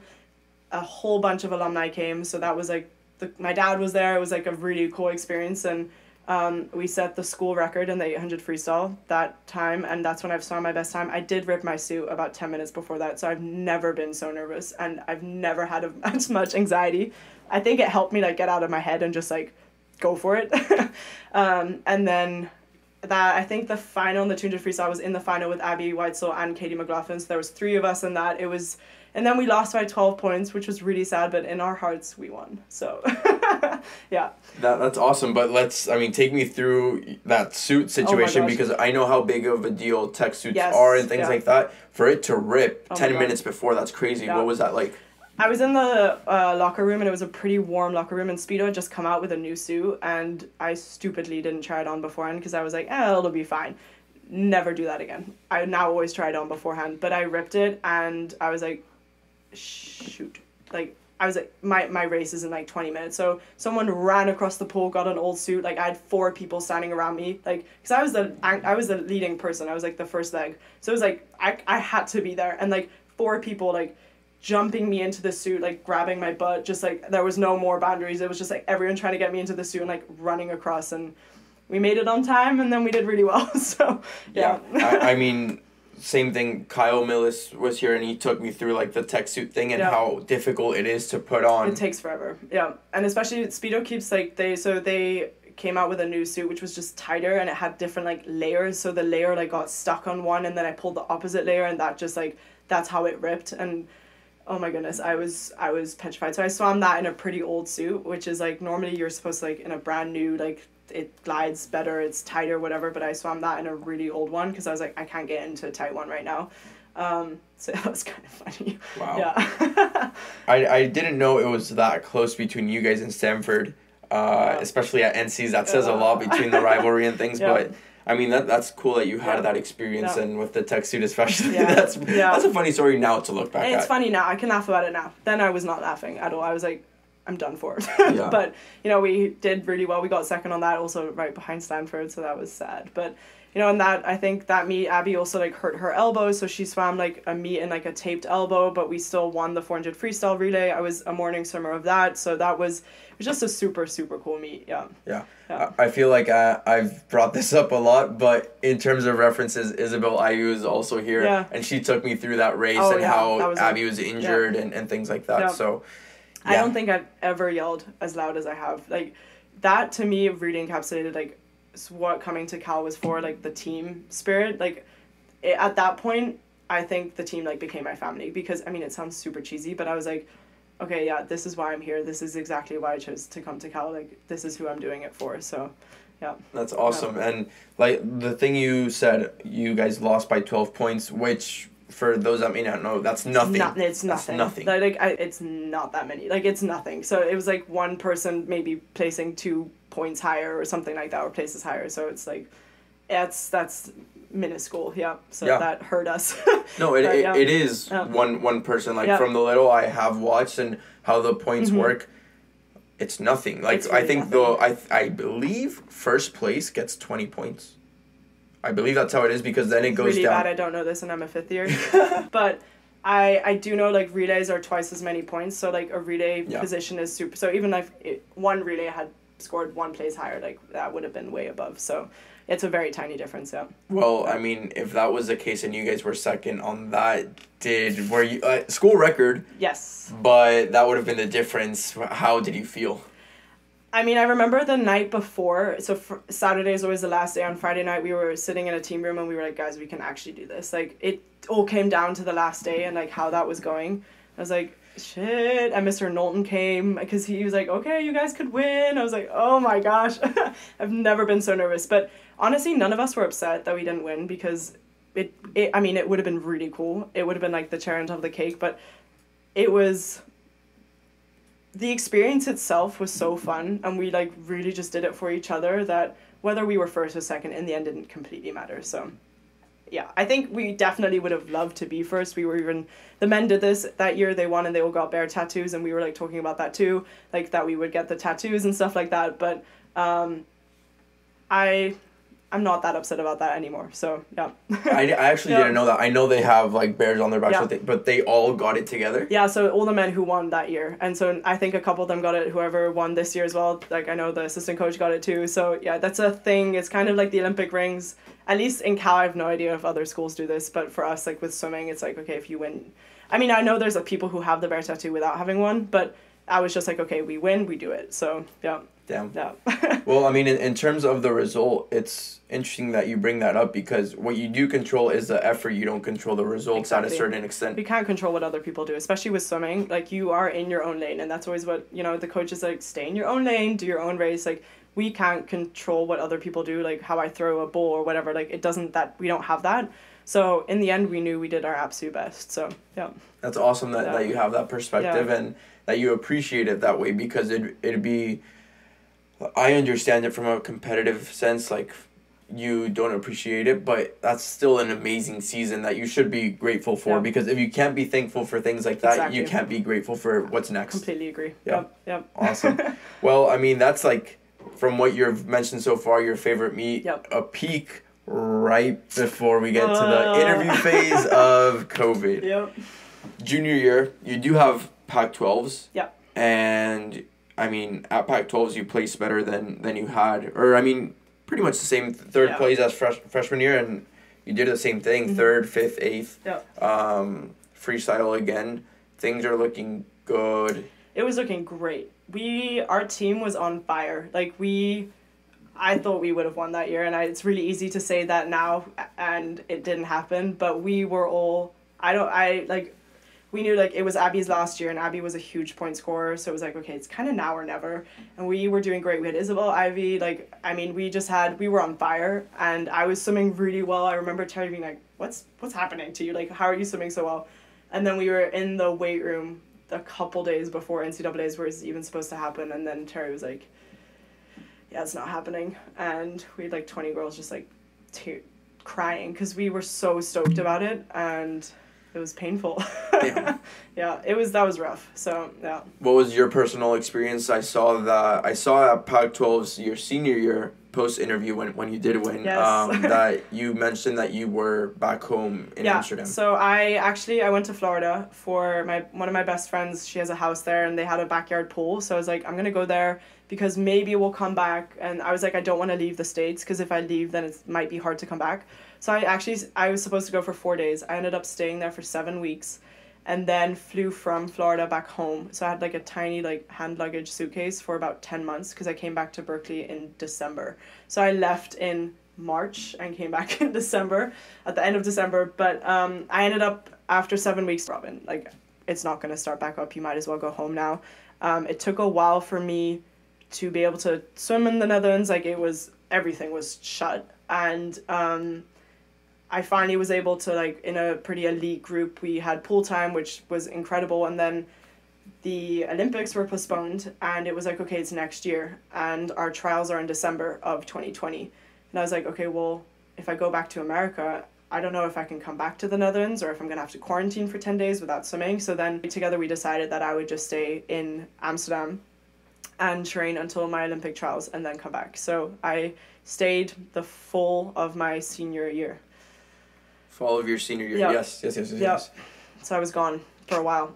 Training wise, Yeah. you mentioned that you were with the elite group, but other than that, how did that go for you? Yeah, so I ended up not swimming with the national team because I hadn't qualified for Worlds the year before that. So technically at this point I'm off the national team, which was tough. It was like a new and I had only missed Worlds by like a tenth of a second, but swimming is black and white, so that's how it goes and because of COVID like it kind of extended that way and I had no pro- no way to prove myself otherwise. Um, so I was training with a club team which was a new like a new experience for me but incredible group incredible coach who immediately just like took me under his wing and was like yep we're gonna figure this out. I just did his training which was very different because in the netherlands they're much more about like technique and slow and long so all of a sudden i was swimming like three times as much again and i was like it was a big adjustment. Um, and i was definitely missing the team and i was doing classes online with a nine hour time difference um, with professors who weren't always very helpful so that was a bit of a challenge but came back at the end of december and was happy to be back And with that international cycle, did you end up going to the qualifying I stage did. or no? So I ended up going to the Olympic trials in December. Did not do well, um, which it was upsetting. But I didn't think that I was gonna do that great. Like there was just so many different factors. Like we had someone in the family like pass away, and we had um, like a, a school nine hour time difference. It just like wasn't ideal, and I wasn't feeling great. So I didn't expect it, but it was like upsetting. Um, But then when I came back in January, I wanted to immediately kind of onto the next goal. I wanted to qualify for European Championships in 2021. So I ended up doing a time trial in America at Cal because I didn't want to have to fly all the way back to Holland to do that. And the whole Netherlands. Oh my goodness. See? This is ridiculous. It's just easier, okay? Um, it's fine. I, I won't do it again. It was just funny. It was just funny. So I ended up doing a time trial with the whole team standing on the side of the pool, and I, for the first time in a very long time, had swum a good time again, and I just burst out in tears and qualified for the European Championships. So which at Budapest again. So that Yeah. was May twenty twenty one is when the European Championships were again. Okay, so let me Yeah, unpack that. yeah, un- unpack it real quick. So, obviously, a lot of things going on for everyone during Yeah. the fall and the summer and everything. Yeah. Um, so you weren't like 15, 16 when you were that focused, like Yeah. tunnel vision. You, you didn't have that anymore. Not as much. I I think Berkeley definitely opened up my eyes. I think it started telling or showing me that I was also super interested in other things and um, that doesn't mean I like took swimming less seriously. I definitely took it just as seriously, but it you know, I'd made the Olympics at this point. Like I definitely wanted to do it again. That was 100% the goal, but I also knew that I was all of a sudden in a different training environment than I had been for the past three and a half, two and a half years, and that's not very normal to just like switch up your training environment that quick before wanting to qualify for the Olympics. So that would have been a big feat if I had accomplished that. But it was upsetting, definitely, that I didn't make it. But to some degree, like immediately to a month and a half after making European Championships, like that was cool and like that was kind of the next goal. And then the next goal was swimming well at European Champ. So I kept like just refocusing my goal, and I think that's important. Is just like taking it for what it is. I was definitely upset that I didn't make it, but then kind of quickly moving on to the next thing. Yeah. Yeah, and I like what you said about Berkeley as well. Like it showed you that you're interested in other Yeah. things, that you're really good at other things Yeah. as well. So I think it's like an important point. I think everybody went through some sort of identity crisis during the Definitely. pandemic. Yeah. Um, but finding out that you're more than I'm just a swim swimmer. in the swimmer. Yeah. I think Berkeley has definitely told me that. Like. You know, you go to like parties at home and it's like, oh, you're Robin the summer. I'm like, yeah. But now I'm like, I'm much more. Like, Berkeley, just the classes I've taken, the things I've done, like the resume I've built, like it's I'm much more than that. And I mean, we'll come to this, but that's I think it's helped me come to terms with wanting to be done and just like being ready for the next step. Is like I know I have done other things, I can do other things, and Berkeley definitely like helped me with that. Yeah. Yeah, let's let's touch base on that for sure afterwards. But with the time trial, that was like here in Berkeley. Yes. How does that work? Because you said that your teammates were right there, like watching. or Yeah, so something? they the guys just did a dual meet against Stanford, and the referees or like the officials walked down to Legends pool because we have two pools. They so they walked down to Legends because it was a fifty meter course pool that I had to do it in, and we had to film it to have like evidence. It had to be like official. The official like had to like signature everything, and then um, I Abbey Weitzeil was incredible in Summit with me, so that I would have someone to like race, and so she took it out really fast so that I would go with her, and then I like touched saw the time that I just like made it, and it was the fastest time I'd swum since uh, qualifying for the Olympics in twenty sixteen. wow. So that to me was like okay, maybe I can still do this because I'd kind of like been a bit of a dip like long course at least like time wise, um, hadn't come close to the time that I swam when I qualified for the Olympics, and I was like, okay, like it gave me a lot of hope again, and the fact that the whole team like they were running the whole two hundred meters like with me and like going like that like, I. I was doing it for them as well, and the fact that they were there with me that made all the difference. Yeah. That's so special. I, I'm just imagining that It's- scene it right was now. Cool. it was pretty cool. That's Yeah, awesome. yeah. Uh, another thing like that I learned from Hugo Yep. was just how situational Yeah. everything is. You mentioned that that's your fastest time since the Olympics. Mhm. You could swim that time NCs, Pac 12s, Yep. Olympic qualifiers, Yep. etc. And that's when I understood the formula of success equals time, or no, not time, preparation times like just the moment, I Mhm, guess. mhm. And the, it's okay. So success is when opportunity meets preparation. That's what I was Yeah. trying to say. Yeah. I've never understood it until you said that, and until you said that right Yeah. now, because he was taking me through Europeans as well and the Olympics in yeah, he was Tokyo. Yeah, we saw each other there. Yeah. yeah. And Yeah. he told me that his fastest time of this past summer was actually in a meet in Barcelona. Yep. And he said that time would have put me fifth in the world, but nobody cared Yeah. because it was that. I like to say that swimming is magic because there are times when I felt like invincible and so fast, and then I come to the meet and then I'm a nobody, or when I feel absolutely terrible and have not slept all week and then I swim my best time. So uh, there's been like it's it's been so up and down, and I've come to learn first of all that there's so many ways that lead to road that lead to Rome, like that saying. I I for a very long time was struggling why I wasn't swimming that time that I swam in the April 2016 when I qualified for the Olympics and was trying to like exactly copy that. Like what was I doing then? What was I eating? I was trying to like really basically copy and paste, but that doesn't work. So it I it took me a long time to realize that stop looking for the needle in the haystack. Like you you're never going to find the exact you're never going to have the exact same factors. You're in a different country, you're older, you've gone through puberty, you've you're in a new like academic rigorous environment like there's so many different factors and you can't just copy and paste that from 6 years ago. So it took me a long time to accept that and be okay with maybe I won't ever swim that time again because that time definitely put me up in the world ranking list for sure. And I was like okay this is the beginning and then I'm just going to keep going. But you know getting to the top is one thing but staying at the top is a whole nother thing and I've definitely come to learn that. Yeah. Yeah. No, that that's yeah. that's definitely very special, especially with like the Rome thing. Yeah. Um, again, another person that has been here was Bjorn, and it, yeah. that's another story right there, right? So that is yeah I, i've learned that from you guys as well and it's it's crazy to think that i've tried doing the same thing in the past something works out just like you copy paste does not work yeah no so I've I think that's also like I would always have the same like warm up routine and always the same warm down routine. I think how about you like see how you feel that day and then see how much you want to warm up. It doesn't always have to be twelve hundred meters with the exact same like thing. I think you become a little superstitious. It's like okay, I did that and I swam really well, so I have to do that again. But it doesn't always work that way. So is it some sort of OCD for you? I think it is for me. I, a little bit, yeah. And I think I've become. I used to be super superstitious as well. That my room had to be super tidy when I left to the pool and just like certain like stupid things like that and i've learned to let that go because i'm like robin there's so many other factors. Your health like how you've slept what you've eaten like how much school is a factor at that point. Like there's a million different things that play yeah. with how you're gonna swim so. Yeah well that that is a very important lesson that i've been trying to deal yeah. with as well in my life because i'm very ocd like yeah. as well. Yeah. um so interesting. Going into your senior year you get your first Pac-12 championship. Yeah. Which that was, was so cool.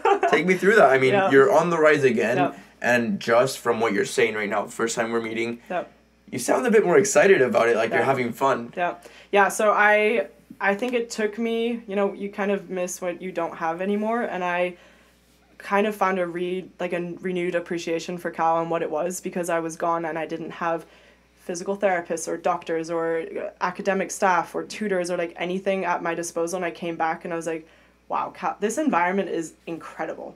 And like I always knew that but I think it took me being gone for 10 months to kind of realize that again. Um, and I came back and we I was just so grateful to be back that I was just having fun. Um, and then we won Pac 12s which was so cool like as a team. Um, we kind of knew it was our shot because a lot of people in Stanford they redshirted or were taking time off for the Olympics or something like that. So a lot of their superstars weren't there. So we were like, okay, this is our shot and we have to take it. And it kind of started out rough. Like we weren't doing as well as we wanted to and huddled us together. She's like, you guys, like this is it. Like come on, you can do it. And I was a captain at that point too. So I was like, okay, I really, I want this to happen right now. And it was very much like a team goal. We set that from the beginning, even though you know I joined on Zooms and stuff like that. Like I knew that that's what we wanted, um, and the fact that that happened as well, and winning my first and only, but you know individual title at Pac-12s. In that interview, I did say like it, it was a long time coming because I'd finished in the top three every single time on the two, in the two hundred freestyle and the last lap during that event, I knew that I like was gonna win because I didn't see really anyone next to me, and I was like, this is so cool. yeah. yeah, that was awesome. Yeah. Well, you had a lot of points there. First place in the 200 free, second in the 100 free, fourth in the 500, and then first in the four, yep. 400 and 800 yep. uh, relay. Yep. So. Yeah, that was a magical meet. Like, I would say my two favorite meets ever are the 2019 NCAAs and Pac 12s of 2021. Yeah. Those two meets together, um, we just also, we had so much fun. Like, we were just goofing around as a team, and I think that that showed that we were just, like, having fun and just joking around and then when go time was it was like serious obviously but we we were just having fun and that's i think i've definitely learned that that's when i swim the best so Yeah. yeah, That's awesome, and it's something I'm personally dealing with right now, the having fun part and Yep. letting go, and it's a Yeah, lesson it's that hard Well, it's yeah. hard yeah because i think as uh, like athletes at such a high excellent environment we want to be able to control everything and we can't so i think and even like i know that i have that i swim the best when i have fun but you can't force it either like there's certain times like ncaa's after that was a pretty disappointing ncaa's and i think we wanted to copy paste again from pac 12 to ncaa's it didn't work and we were trying to force it and like make it happen just rather than just like letting it happen and see what what came out of it so that was yeah Yeah, it's like I was mentioning, I've obviously had a lot of struggles coming in my first three years right now. Like my next Yeah. three potentially Yeah. are like my I'm I'm at the start right now. Yeah. And it's the same thing. We have a new head coach right now Mhm. and talking with him it's like I just want to have fun. Yep. Like That's that the is most- all I have in that's mind the right most now. important yeah and i think you know as i was saying like the people who were on my team they're the ones who like told me that that you know and it, it's experience as well like pac 12s we were just goofing around and we won so i mean it doesn't always work but it worked at that point so yeah. What advice would you give to be able to get into that happy zone when competing? Ooh, I would say like know what who you're doing it for and like why you're doing it. Knowing your why i think that's like the foundation. And then just like being surround like surrounding yourself by the people you want to do it for and like the people you've been training with and just like you know trusting in the process and trusting in the work you've put in beforehand and just like not trying to overdo it and control at that exact moment and knowing that the work is done and all you can do now is just like enjoy the fact that you can show to the rest of the world like okay we've worked so hard for this and now we're going to prove it to you guys so i was yeah that's kind of the mentality we took that week i would say yeah Awesome. That's that's awesome and it definitely helps, I think, Yeah. just to put things into perspective. definitely So yep cool. Yep. NCs. Was that your last NCs or did you go this year? i didn't go this year Okay, that's so it a was. whole nother story but yeah that was my last ncs yeah How was that? Like you said, it was Yeah. disappointing. It was disappointing. Yeah, I think it was hard coming off from like a high of Pac 12s and then going into NCs. I can't exactly put my finger on like what happened that meet still, but it just wasn't our meet. And like we still did good. We were fourth overall, which you know was great. We had at that point like the longest running streak of being top four, 25 years, I want to say something like that. So that was cool, but I think we just had really high expectations and kind of vaulted under those. Like I, we just really wanted to do well, and I think we just put too much pressure on ourselves. No. The decision of the fifth year.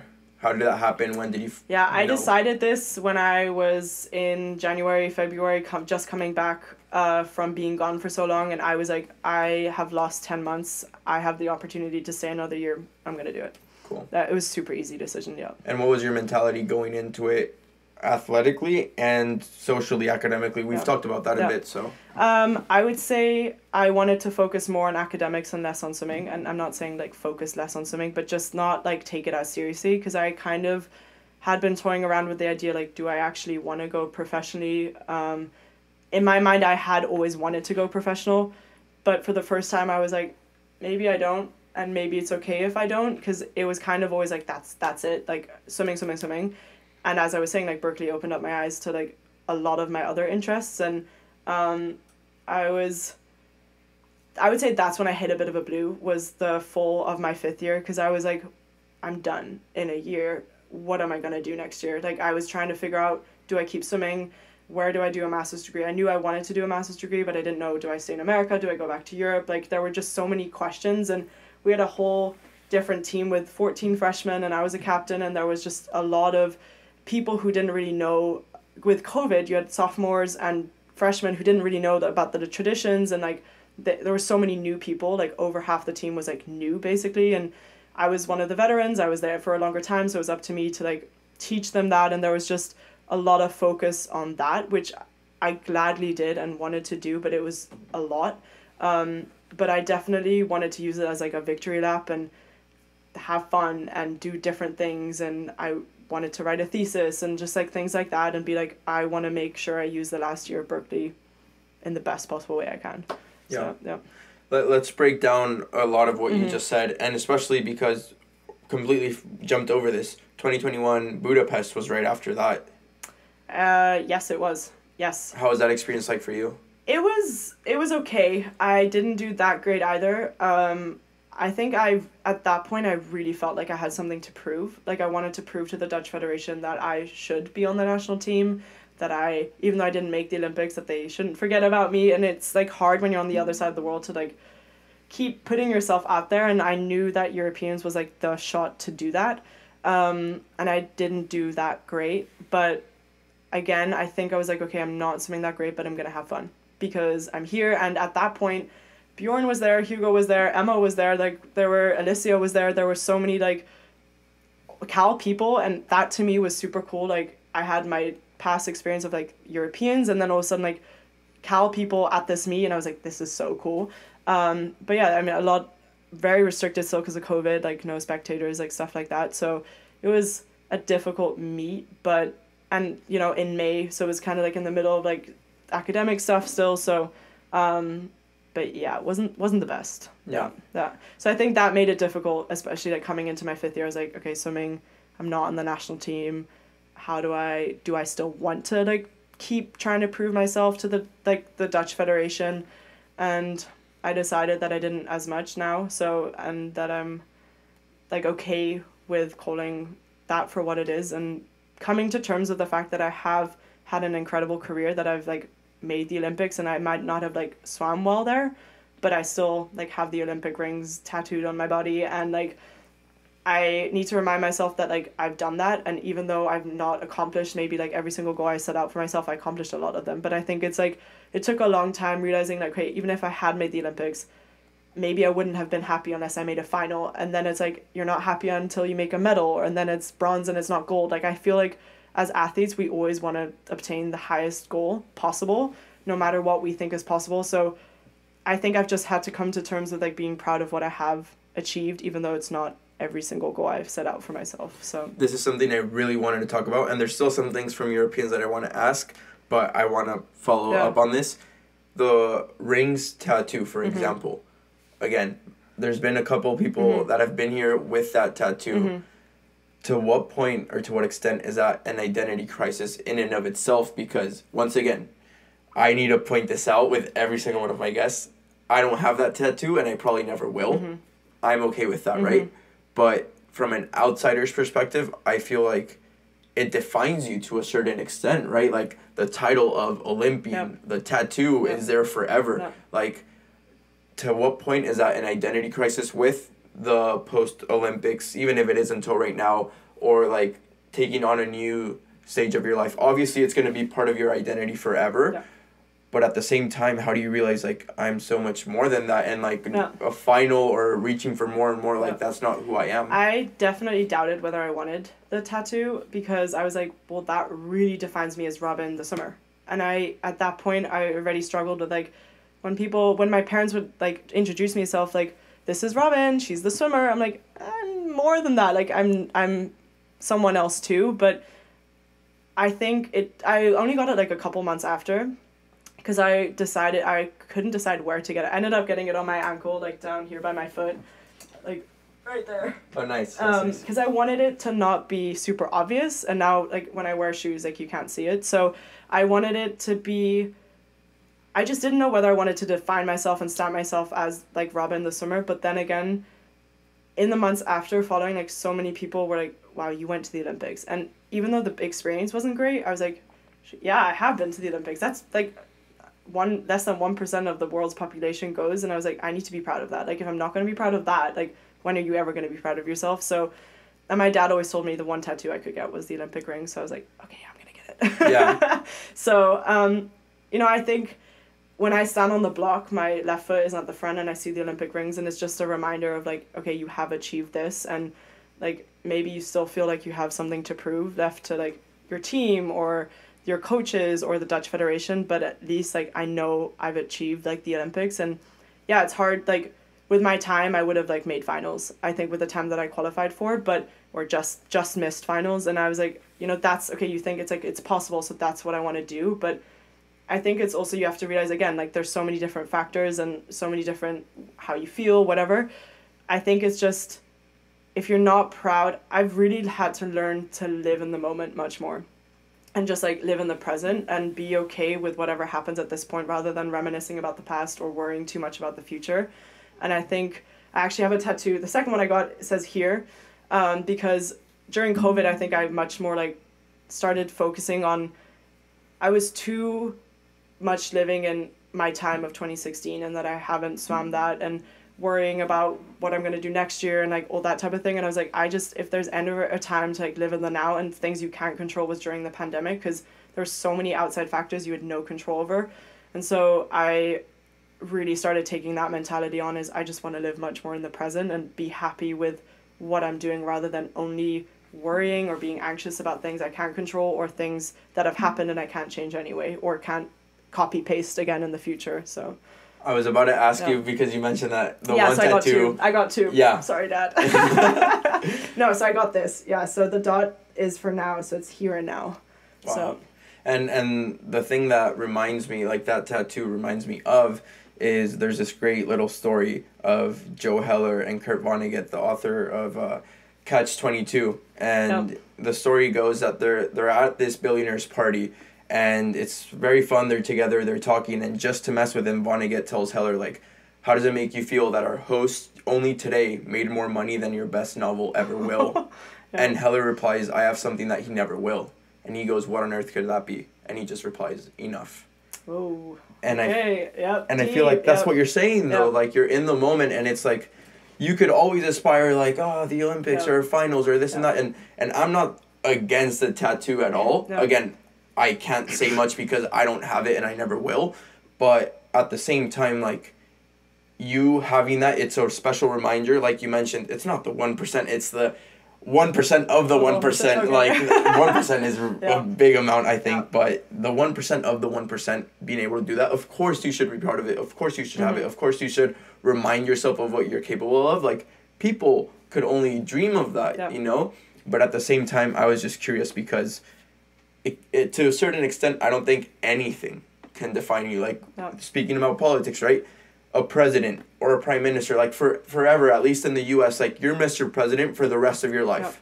And to me, it's like a human should be so much more than that, regardless of their accomplishments. Like you're you should never be limited to your accomplishments, but having those reminders of what you have accomplished and how that makes you who you are and your lived experiences Yeah. is very powerful. I would say the tattoo to me doesn't it doesn't define that I'm an Olympian. It's like what I did to get there. And like the hard work, the dedication, the sacrifices and like a reminder that that's who I am and like it's not Robin the Olympian, it's Robin who worked day in and day out to get to that. Like that's kind of I think the reminder more for this tattoo. Yeah. I love that, and I think it complements the other one so well. Thank you. So that's awesome. That's very awesome. I actually Um, got this one right after Europeans last Really? year because I, I was like, okay, this meet just wasn't it, and I read the book, The Power of. I brought one book with me to Florida, and it was The Power of Now from Eckhart Tolle, which is how I got to this like, realizing during like the pandemic that that's what I wanted, and after Europeans, I was kind of like, slipping away from that again because I'd been really good at this and like meditating and like being more present.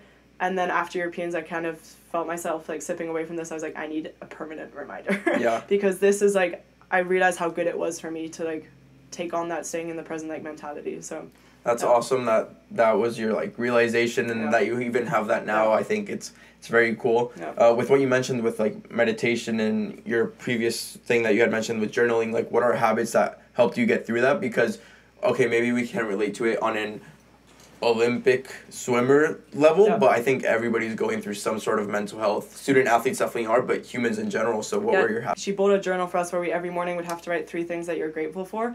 And so many people talk about it, but when you actually do it for a long period, like it really, you start actually looking for things that you're grateful for throughout the day and like being like, oh wow, okay, yeah, the weather isn't great and I'm tired and I'm hungry, but I'm at Cal. I'm like on a like on a scholarship here. Like I'm swimming outside. Like it just it kind of shifts your perspective from that, and you start focusing more on the like positive side of things. And I'm definitely not good at this every day, but I do try and meditate. I think it just like helps at least in our busy schedules and our busy days, like just to take ten minutes and just like focus on my breath and just like it grounds you like in some sort of way. So those are kind of the two things that I try and do to keep that going. Yeah. Yeah, and again, it, it goes back to perspective as well. And, and the gratitude I Yeah. I do practice that as well, and it's the same thing, right? Like for us, athletes that are so ambitious and so competitive. That's important, and it should Yeah. continue to help us like Yeah. grow and become Because. I think it also it shifts your perspective from everything you want to achieve. Like rather than like focusing on I want this, I want this, like this is my goal. It's like okay, you you have this, like this is what you're doing. Like it focuses on what you have, and that way like takes you back, like takes you away from reminiscing about the past or worrying about the future, and just brings you back into the like what you are right now. Exactly. And, and that's the point because if you can't be grateful right now, you're not going to be grateful when you're quote when you unquote when you successful. make it yeah when you make your goal that you're worrying about right now so yeah. yeah Yeah. i think there's like a quote in that book it's like you you can never mm-hmm. change the past and the only way you can change the future is by doing something right now so that's i took uh, that quote was like the if you need to know one thing about the book that's that's it and i was like yeah why would i be worrying about the future when the only way i can change it is doing something like right now I'm going to read So, that book, The Power of Now. yeah from Eckhart Tolle Awesome. definitely advise that Awesome. yeah Going back to what I was mentioning about Europeans, the question I had. Obviously, it's extremely cool, but what's the bond like at an international meet with other fellow Bears? It seems pretty cool that you you mentioned those names because literally everyone except to- Emma yeah. have been here, so that's pretty. you should cool. talk to Emma too. She's Yeah. pretty cool. But um, I don't know. It's it's cool because we are all from different countries: Spain, Sweden, England, Croatia, the Netherlands. Said it right this time. And you're like in your your outfit. Like I'm in bright orange. I look like a clown. But um, you know, and you're there like. You go from the day to day grind at Cal, and all of a sudden you're at an international meet, and you're representing like your respective country, and it's it's super cool because you know that not a lot of people are there and it's like an elite group and but at the same time like some of my best friends are at this meet and it's like okay hey. And it's so cool to just like run into them and there's other Dutch swimmers like there's two guys Caspar Corbeau and Nyls Korstanje who also swim in America who are like at who swim for the Netherlands and there's just a different understanding of what it takes to be a student athlete at an American university and then also represent your country internationally so that's pretty unique yeah That's such a sick like idea in my head right now of like you guys being at such an elite level, and it's like, oh, my, my friends my from friends That's crazy. yeah That's no, so fun sick. it's really cool That's awesome. Um, yeah, that, that is very, very cool. Um, well, with the senior year, fifth year, Yep. you already mentioned your mentality coming Yeah. into it. What, um, yeah, like 14 freshmen, I knew that. That's half your team, literally, and the sophomores on top of that, which is Yeah. hard. You're one of the captains. Mhm. What was that experience like? It's hard. uh, I really, I love my freshmen. I love my whole team, but it was hard because you know so many new faces and so many new factors, and slowly stuff was like becoming normal again. But still, we had some COVID things, and we just like a gray area that no one really knew how to navigate, and yet you're being looked up looked up to to have the answer, and I'm like. I, I don't know, but I have to pretend I, I knew it because I'm like, I'm the captain, I've been here for four years, so Robin knows the answers, but I'm still figuring it out just as much. I think, like, no matter how long you've been here, you're still learning, and that's. I think in the end, like a lot of collaborative work with my other two captains, Elise Garcia and Ayla Spitz, and we did. I think. I mean, it was hard. I don't know how other people would rate us, but I we tried our absolute best, and just like trying to create like a collaborative, like inclusive environment, and not just like top down, like this is how it needs to be, but just like okay, you guys, you have a new perspective, and you know they're they're six years younger at this point because I like took an extra year of high school. I'm 24 and they're like just turned 18, and it's a big difference. But so learning from each other, I would say, was like how we wanted to create like that environment. So it was it was hard, but yeah, What's the process of picking captains? um, the team boats Okay. Yeah, and then we so most years we have three, but the team votes. So you choose your one, two, three pick, and then so yeah. Cool, cool, cool. yeah. Well, um, with with that, let's see, fifth year. My next question was gonna be: I know you guys had a transfer, but were you the only fifth year? Uh, yeah, so we had two fifth years. Yeah, one transfer and me. So that was it. Yep. Okay, so you were the person everybody looked yes. up to for yeah, because like the other fifth year had no idea what she was just as much a freshman. Um, and we had a small senior class, so it was basically this the juniors kind of knew stuff, the seniors knew it, and then like me. So it was like, I felt a lot of pressure in that sense, but I mean it was cool. Like I was like, great, I'm creating. I knew I was consciously like creating environ- an environment like that people then would take on later when they're captains or something like that. So I was pretty conscious about that. So yeah. In terms of your thesis, you just completed it. Yes. Academically, insane resume towards the end, which we're about to get into. Yes. But you did bring up um, like the NCs being a whole different story. So Mm-hmm. season wise, you're focusing on enjoying the social life, enjoying your last few months uh, in America, um, in focus on your thesis. Things are great on that end. But what was your swimming experience like? Like what you mentioned. Um, it almost feels like I never really took off.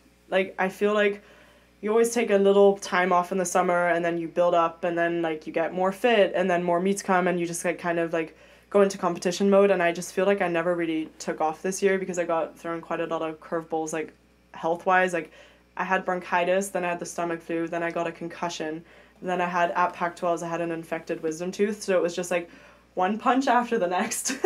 Um, like every time I felt like I was getting back like something threw me off again. So it was tough um, and it definitely i never thought that i would be in a situation where i wouldn't make ncaa's because that just like kind of never was a challenge as much for me. It was more like okay i'm gonna make ncs and then it's like how how high can i place at ncs and all of a sudden i'm like dealing and grappling with like maybe i won't make ncs this year like uh shoot so i but again like I think in some way it was my body telling me that it was okay to be done.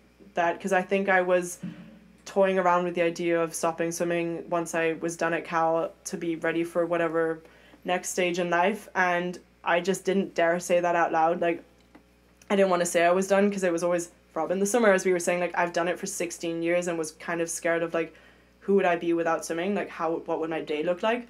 But all of a sudden, I'm like out of the pool for weeks on end because of my health and like a concussion, right? But like three weeks before Pac 12s. And um, Pac 12s just like wasn't great. And then I all of a sudden, I'm like, well, I'm not at NCs, so I'm, I'm kind of done. Like it was, it was, it was weird. And maybe it forced me in some sense to like question whether or not I wanted to keep swimming. But I honestly think that was some higher power like deciding that that was good because it really made me think about like okay what do i actually want? Because and not take the things that have happened in the past four years like for granted because it's like okay yeah i finaled each year in the 200 freestyle and now that like the next year i'm not even making the meet. So it was like it really put it into perspective and i'm more proud of those accomplishments because i didn't make it this year. And just like i think also learning that it's just not always guaranteed and no like life you can't control certain things and that's okay so yeah That's super powerful. Yeah.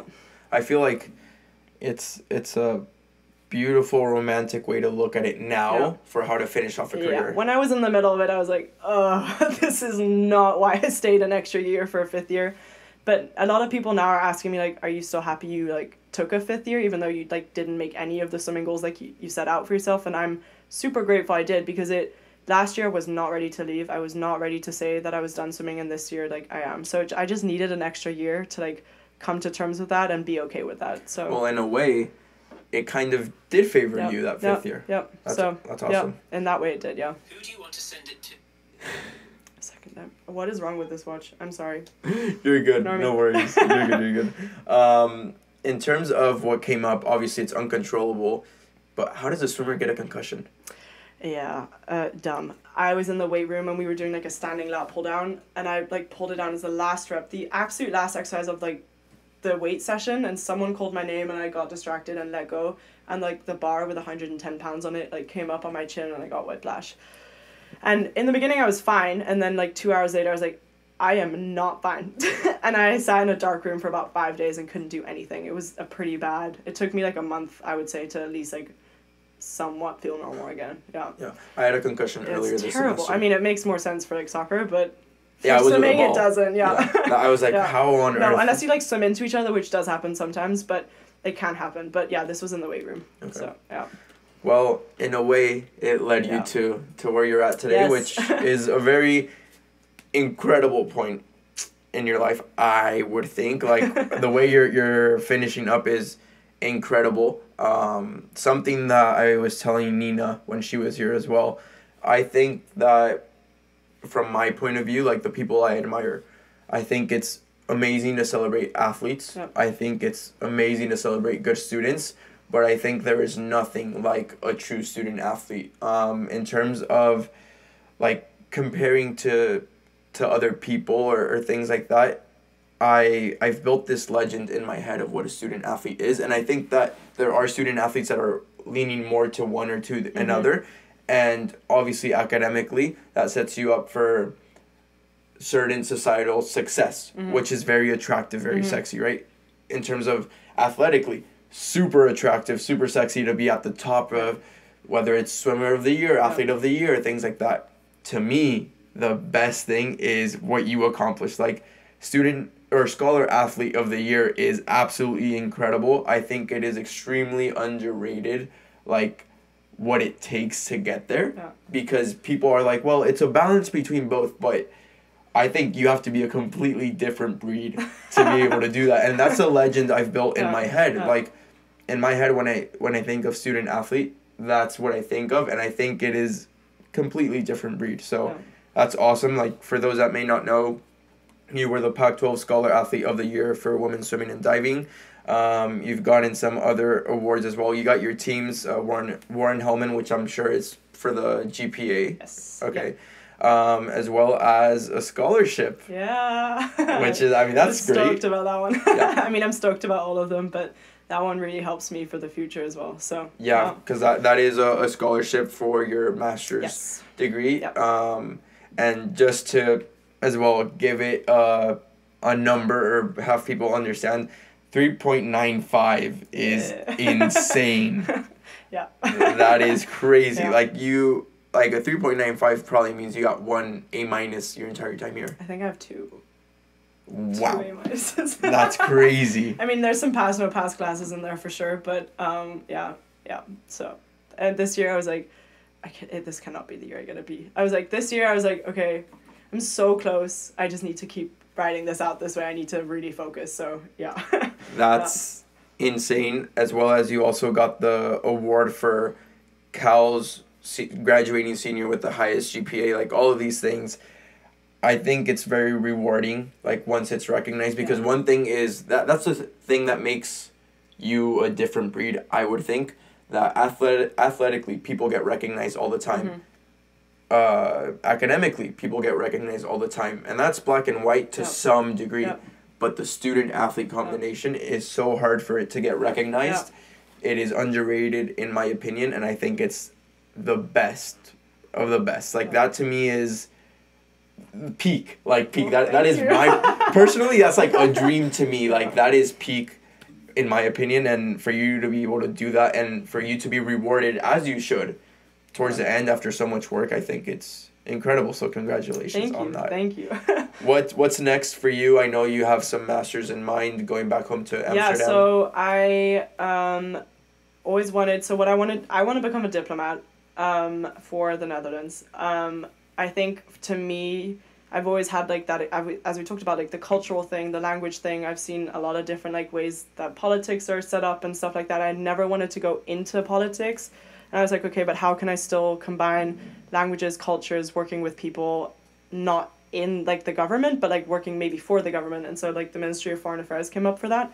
Um, and they there's this diplomacy class. So to even apply for that, you need to have lived in five countries. You need to have work experience, international work experience, which I do not have yet. So that's I need to do that at some point. You need to speak four languages, like stuff like that. So I was like, that's kind of me. I was looking through the checklist. I was like, okay, that's me. Maybe I should look into this. And so I need to get a master's degree to even apply for that. Um, and I was like, okay, you know, thinking about, you know, Georgetown is the best university in the world for like international relations and stuff like that. But I had a really strong desire to want to go back home and back like to Europe. Um, so then I started looking at options in the Netherlands, and I'm still awaiting to hear from my top choice. But um, th- so that's international relations and European diplomacy. So that's my plan. Hopefully. Awesome. awesome, awesome, yeah, awesome. yeah. What attracts you so much about Europe in the sense of diplomacy? Um, that's funny because my dad was actually asking me the same thing. He's like, "Why do you actually want to become become a diplomat?" I'm like, "Cause it's cool." I don't know. It's an easy answer, but I think the fact that you're representing your government, but I don't necessarily want to make the policies. I don't. I'm not like super into policy making, but you are. You're debating with people. You're negotiating with other like foreign like political people and representing it at the international like stage um, in a multi like level governance like representation. And I think it was to me like it brings every single like political culture and economic culture and like social culture like all together. And so many different factors are at play. It's never going to be the same days of work i from what i know. Um, and all the people experience but then culture and then politics and economic it's just all those like different factors and i think having that at the international stage that was like my dream. I was like okay that's my dream would one day be to like work for the un my dream dream would be like to be the un diplomat for the netherlands at the un um, so something like that. But you know we'll see what doors open along the way and we'll see what happens. But you know working for the european union or an ngo or because i also have a minor in human rights so something like along that that kind of like fell into my lap because i kept like choosing extra classes and then i was like wait that's four out of five for a human rights minor so it just kind of like that ended up being my interest but so we'll see where it takes me but um, the goal would be yeah to do to represent the Netherlands, not swimming wise, but politically. so yeah. That's so awesome Yeah. because the way you're describing it, it's you were just made for it. You know. Yeah, I, I realized it when I looked at the website of the diplomacy class, as they call it, and like the requirements, and I was like, that's literally me. and I was like, okay, I think I'm on the right track here. Like, this is the only thing I need is like a master's degree and some international work experience because assuming it's hard to work. Um, but yeah, so I was like, that, you know, like s- complex issues, like wants to, to negotiate with people and like see different i think global studies especially like you see a problem and you have to look at all the different like complexes like uh, all the factors and like all the reasons for that problem like happening. And i feel like diplomacy is a big thing in that as well. Like you're in a different country representing your own country and you're trying to represent them in a political stage but also like get your country out there or like help with human rights issues in that country or stuff like that. So there's it's so complex and i love that idea about that. So That's so awesome. That's so awesome, and it's it's interesting how you were literally like shaped into it Some from way, yeah. like throughout your life. Yeah. It, it goes from obviously how much you moved, Yeah. the languages you speak, how you understand the culture, the experiences you've had. Like that all shapes you, and for it to it doesn't fall into your lap because you've worked for it. But instead of thinking of the goal and working towards that, you just worked, and then the goal appeared, and then it's like, whoa, I'm close. yeah yeah And yeah exactly yeah that's so awesome and and the different ways that you can approach it like from your experiences for example i was writing a couple papers last week on the exact same topic and it was the pursuit of happiness which is a huge thing in the us it's written in, I actually took the psychology of human happiness this year. Okay. As like an extra class. Because I was intrigued in that, yeah. I Yeah. I haven't taken that and I'm like attracted to Yeah. it, but it's like the pursuit of happiness from a political point of Mm. view, which it's written in the Declaration of Independence in the American one. And it's like what does that mean Yeah. and things like that. And so arbitrary. it's yeah. so but the thing is it's cultural and Yeah. that's why I'm pointing it out Yeah. because of European uh it, it's titled it's not that it is this but it's referenced as European socialism and it Mm. still is to this day Mm. and the different experiences you've had. For example, in the US, the pursuit of happiness is individualistic, extremely. And that's why you see privilege. So I see such a big gap. Yeah. Yeah. Exactly, because that's how we were made, and it was misunderstood. It's it's super interesting to see how the culture was impacted through history. Yeah. So here's my nerdy moment Yeah, of the podcast. I Uh, love it though. Thomas Jefferson writes that, but when it's printed, the first print, there's a period rather than a comma as it should be in the original copy. And that changes the entire meaning because the period afterwards says pursuit of happiness and that's it.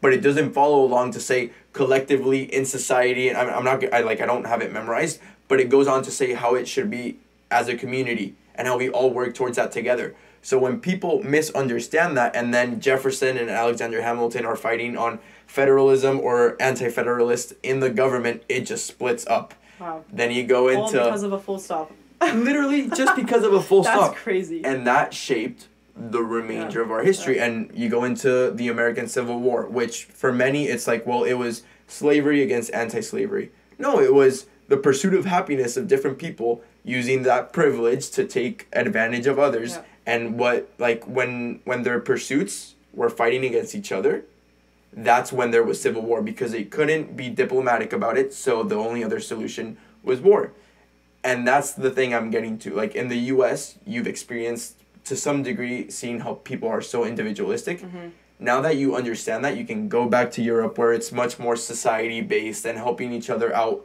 which I personally really like that, as we call it here, European socialism, or like it's community based. But once you understand the other side of the coin, rather than just criticizing it from across the pond, Yep.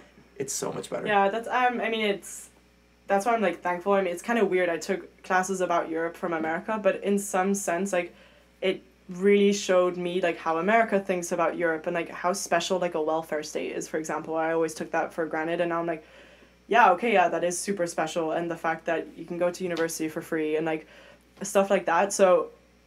I, I find it interesting though because when I ca- came to America, I think people are much more and it may be pretentious or it may be superficial but people are much more involved in each other's lives in america and you say like community based but i feel like at the airport like so many people come up to you and you're like oh you're calgi or my cousin's third dog's best friend passed away grand like went to cal or even thought about going to cal. And it's like people are very intrigued about each other's lives i think in america. And like the fact that this is stupid but like at a grocery store someone's like how are you? Like in holland it's just like hey. Like I feel like in in Amsterdam like it's a big city and it's super diverse so everyone kind of just like goes along in their own way. And I think in America there is a sense of commu- community but at the larger scale it's America's more individual and Europe is more like communal. It's kind of like it's interesting to me because I feel like there is much more like a neighborly maybe not Berkeley but like neighborhoods like community. Whereas in the Netherlands it's not at least in Amsterdam in the big city I'm a big city girl from like where I've lived, but so I think that contrast is pretty interesting. But I think at the political level for sure, because that's we have like fifty two different political parties, whereas in America it's like you're one or the other. Like that's it. It's kind of black and white. And in the Netherlands we have a political coalition, so it's like all these different types of political parties represent the larger will of the people, basically. So that in that sense, it's a more like a better representation, I think. Better representation, community based, and Yeah. here it's so polarizing Yeah. and it's one or the other Yeah. sort of thing. Yeah, yeah. But not only that, to your point with Big City Girl, I mean, go to New York, get on the subway, nobody's gonna ask you how your Okay, day so maybe is. uh, I've just had some special experiences, and maybe Berkeley is like different in that sense. But that's you know where I have, and that's my experience of America. But in Holland, people would never talk to each other on the subway. So it's like, I don't know. It's it's interesting. I think at just different levels and different scales. Obviously, uh, city versus rural, like it's always going to be different. But I think if you look at it on a big political scale, yes, America is extremely polarized, and the Netherlands not so much. Yeah. So yeah. Interesting. Yeah. We, we mentioned a lot of things during the episode right now, like during the podcast that we say towards the end. Did I miss any or anything else? Because we did push back a few, and I think I covered them all. I think you did. Okay. Yeah, we went through all my years. Yeah. yeah, I, I think we've covered most topics. Yeah. Okay. Yeah. Um, well, to final few questions here to close up your incredible story, which I, I'm super excited we got to talk about and that I got to know. Yeah. What is your definition of success?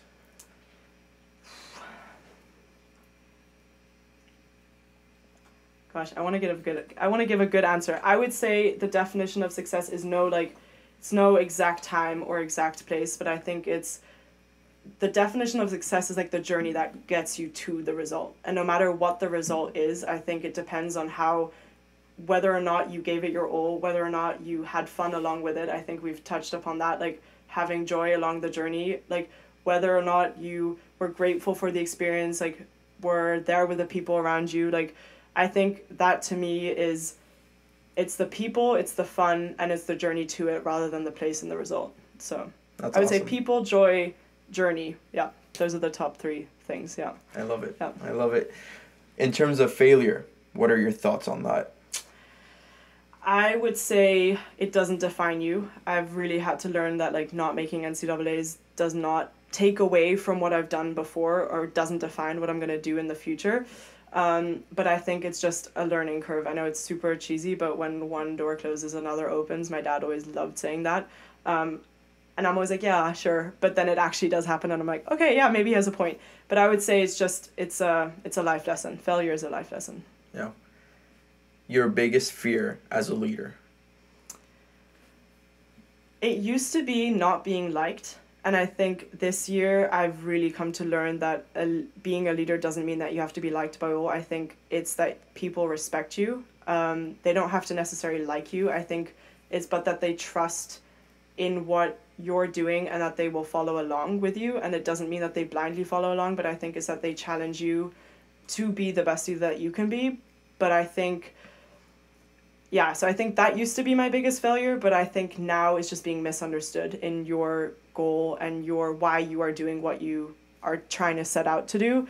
But I think in that sense, you as a leader can counteract that by ex- not just like demanding and commanding, but explaining and collaboratively taking people along with you in your leadership. Yeah. That's awesome. Yeah. Very last one. The purpose that drives you, the why behind why you do things. I would say my family for sure. And I would say my goal of wanting to in some way change the world as small as I can be, but make an impact in those in this world. Yeah. To leave your dent in the universe. To leave my dent, exactly. yeah.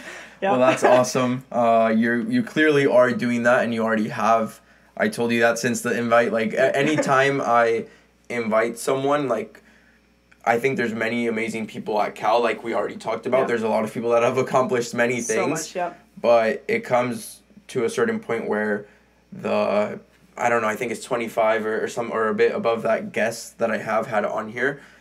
It's from my perspective people that are leaving their dent or doing something different or some some way I admire that, you yeah. know? And your story is incredible. Thank you. It was way more special now that we talked about it because usually I get a sense when I'm doing research, but you talking about it is amazing. So thank you so much for taking the time. I know you. have a crazy schedule right now and yeah. a lot of things going on, but I'm so so glad we got to do this. Thank you for having me. It's been an honor. it's been my pleasure. Uh, kind of sad that I don't have time to get to know yeah. you more afterwards, but hopefully someday I can visit Amsterdam. Yeah, if you're ever there, let me know. Yeah, no, we'll do. Well, thank you so, so much. Yeah, I really appreciate it. And to everyone that watched on YouTube or listened on Spotify, thank you guys so much. If you're on YouTube, please like and subscribe. If you're on Spotify, please follow the podcast. That is it for today. I'll see you all next time. Go Bears. Go Bears. thank you so much for listening to today's episode. Make sure to subscribe to my podcast and follow me on my personal social media accounts for more, all at Fer Andraez. All links are in the description. If this episode inspired you in any way, please help me out by sharing it with a friend to help them leave their dent in the universe as well. That's it for today. I'll see you all next time.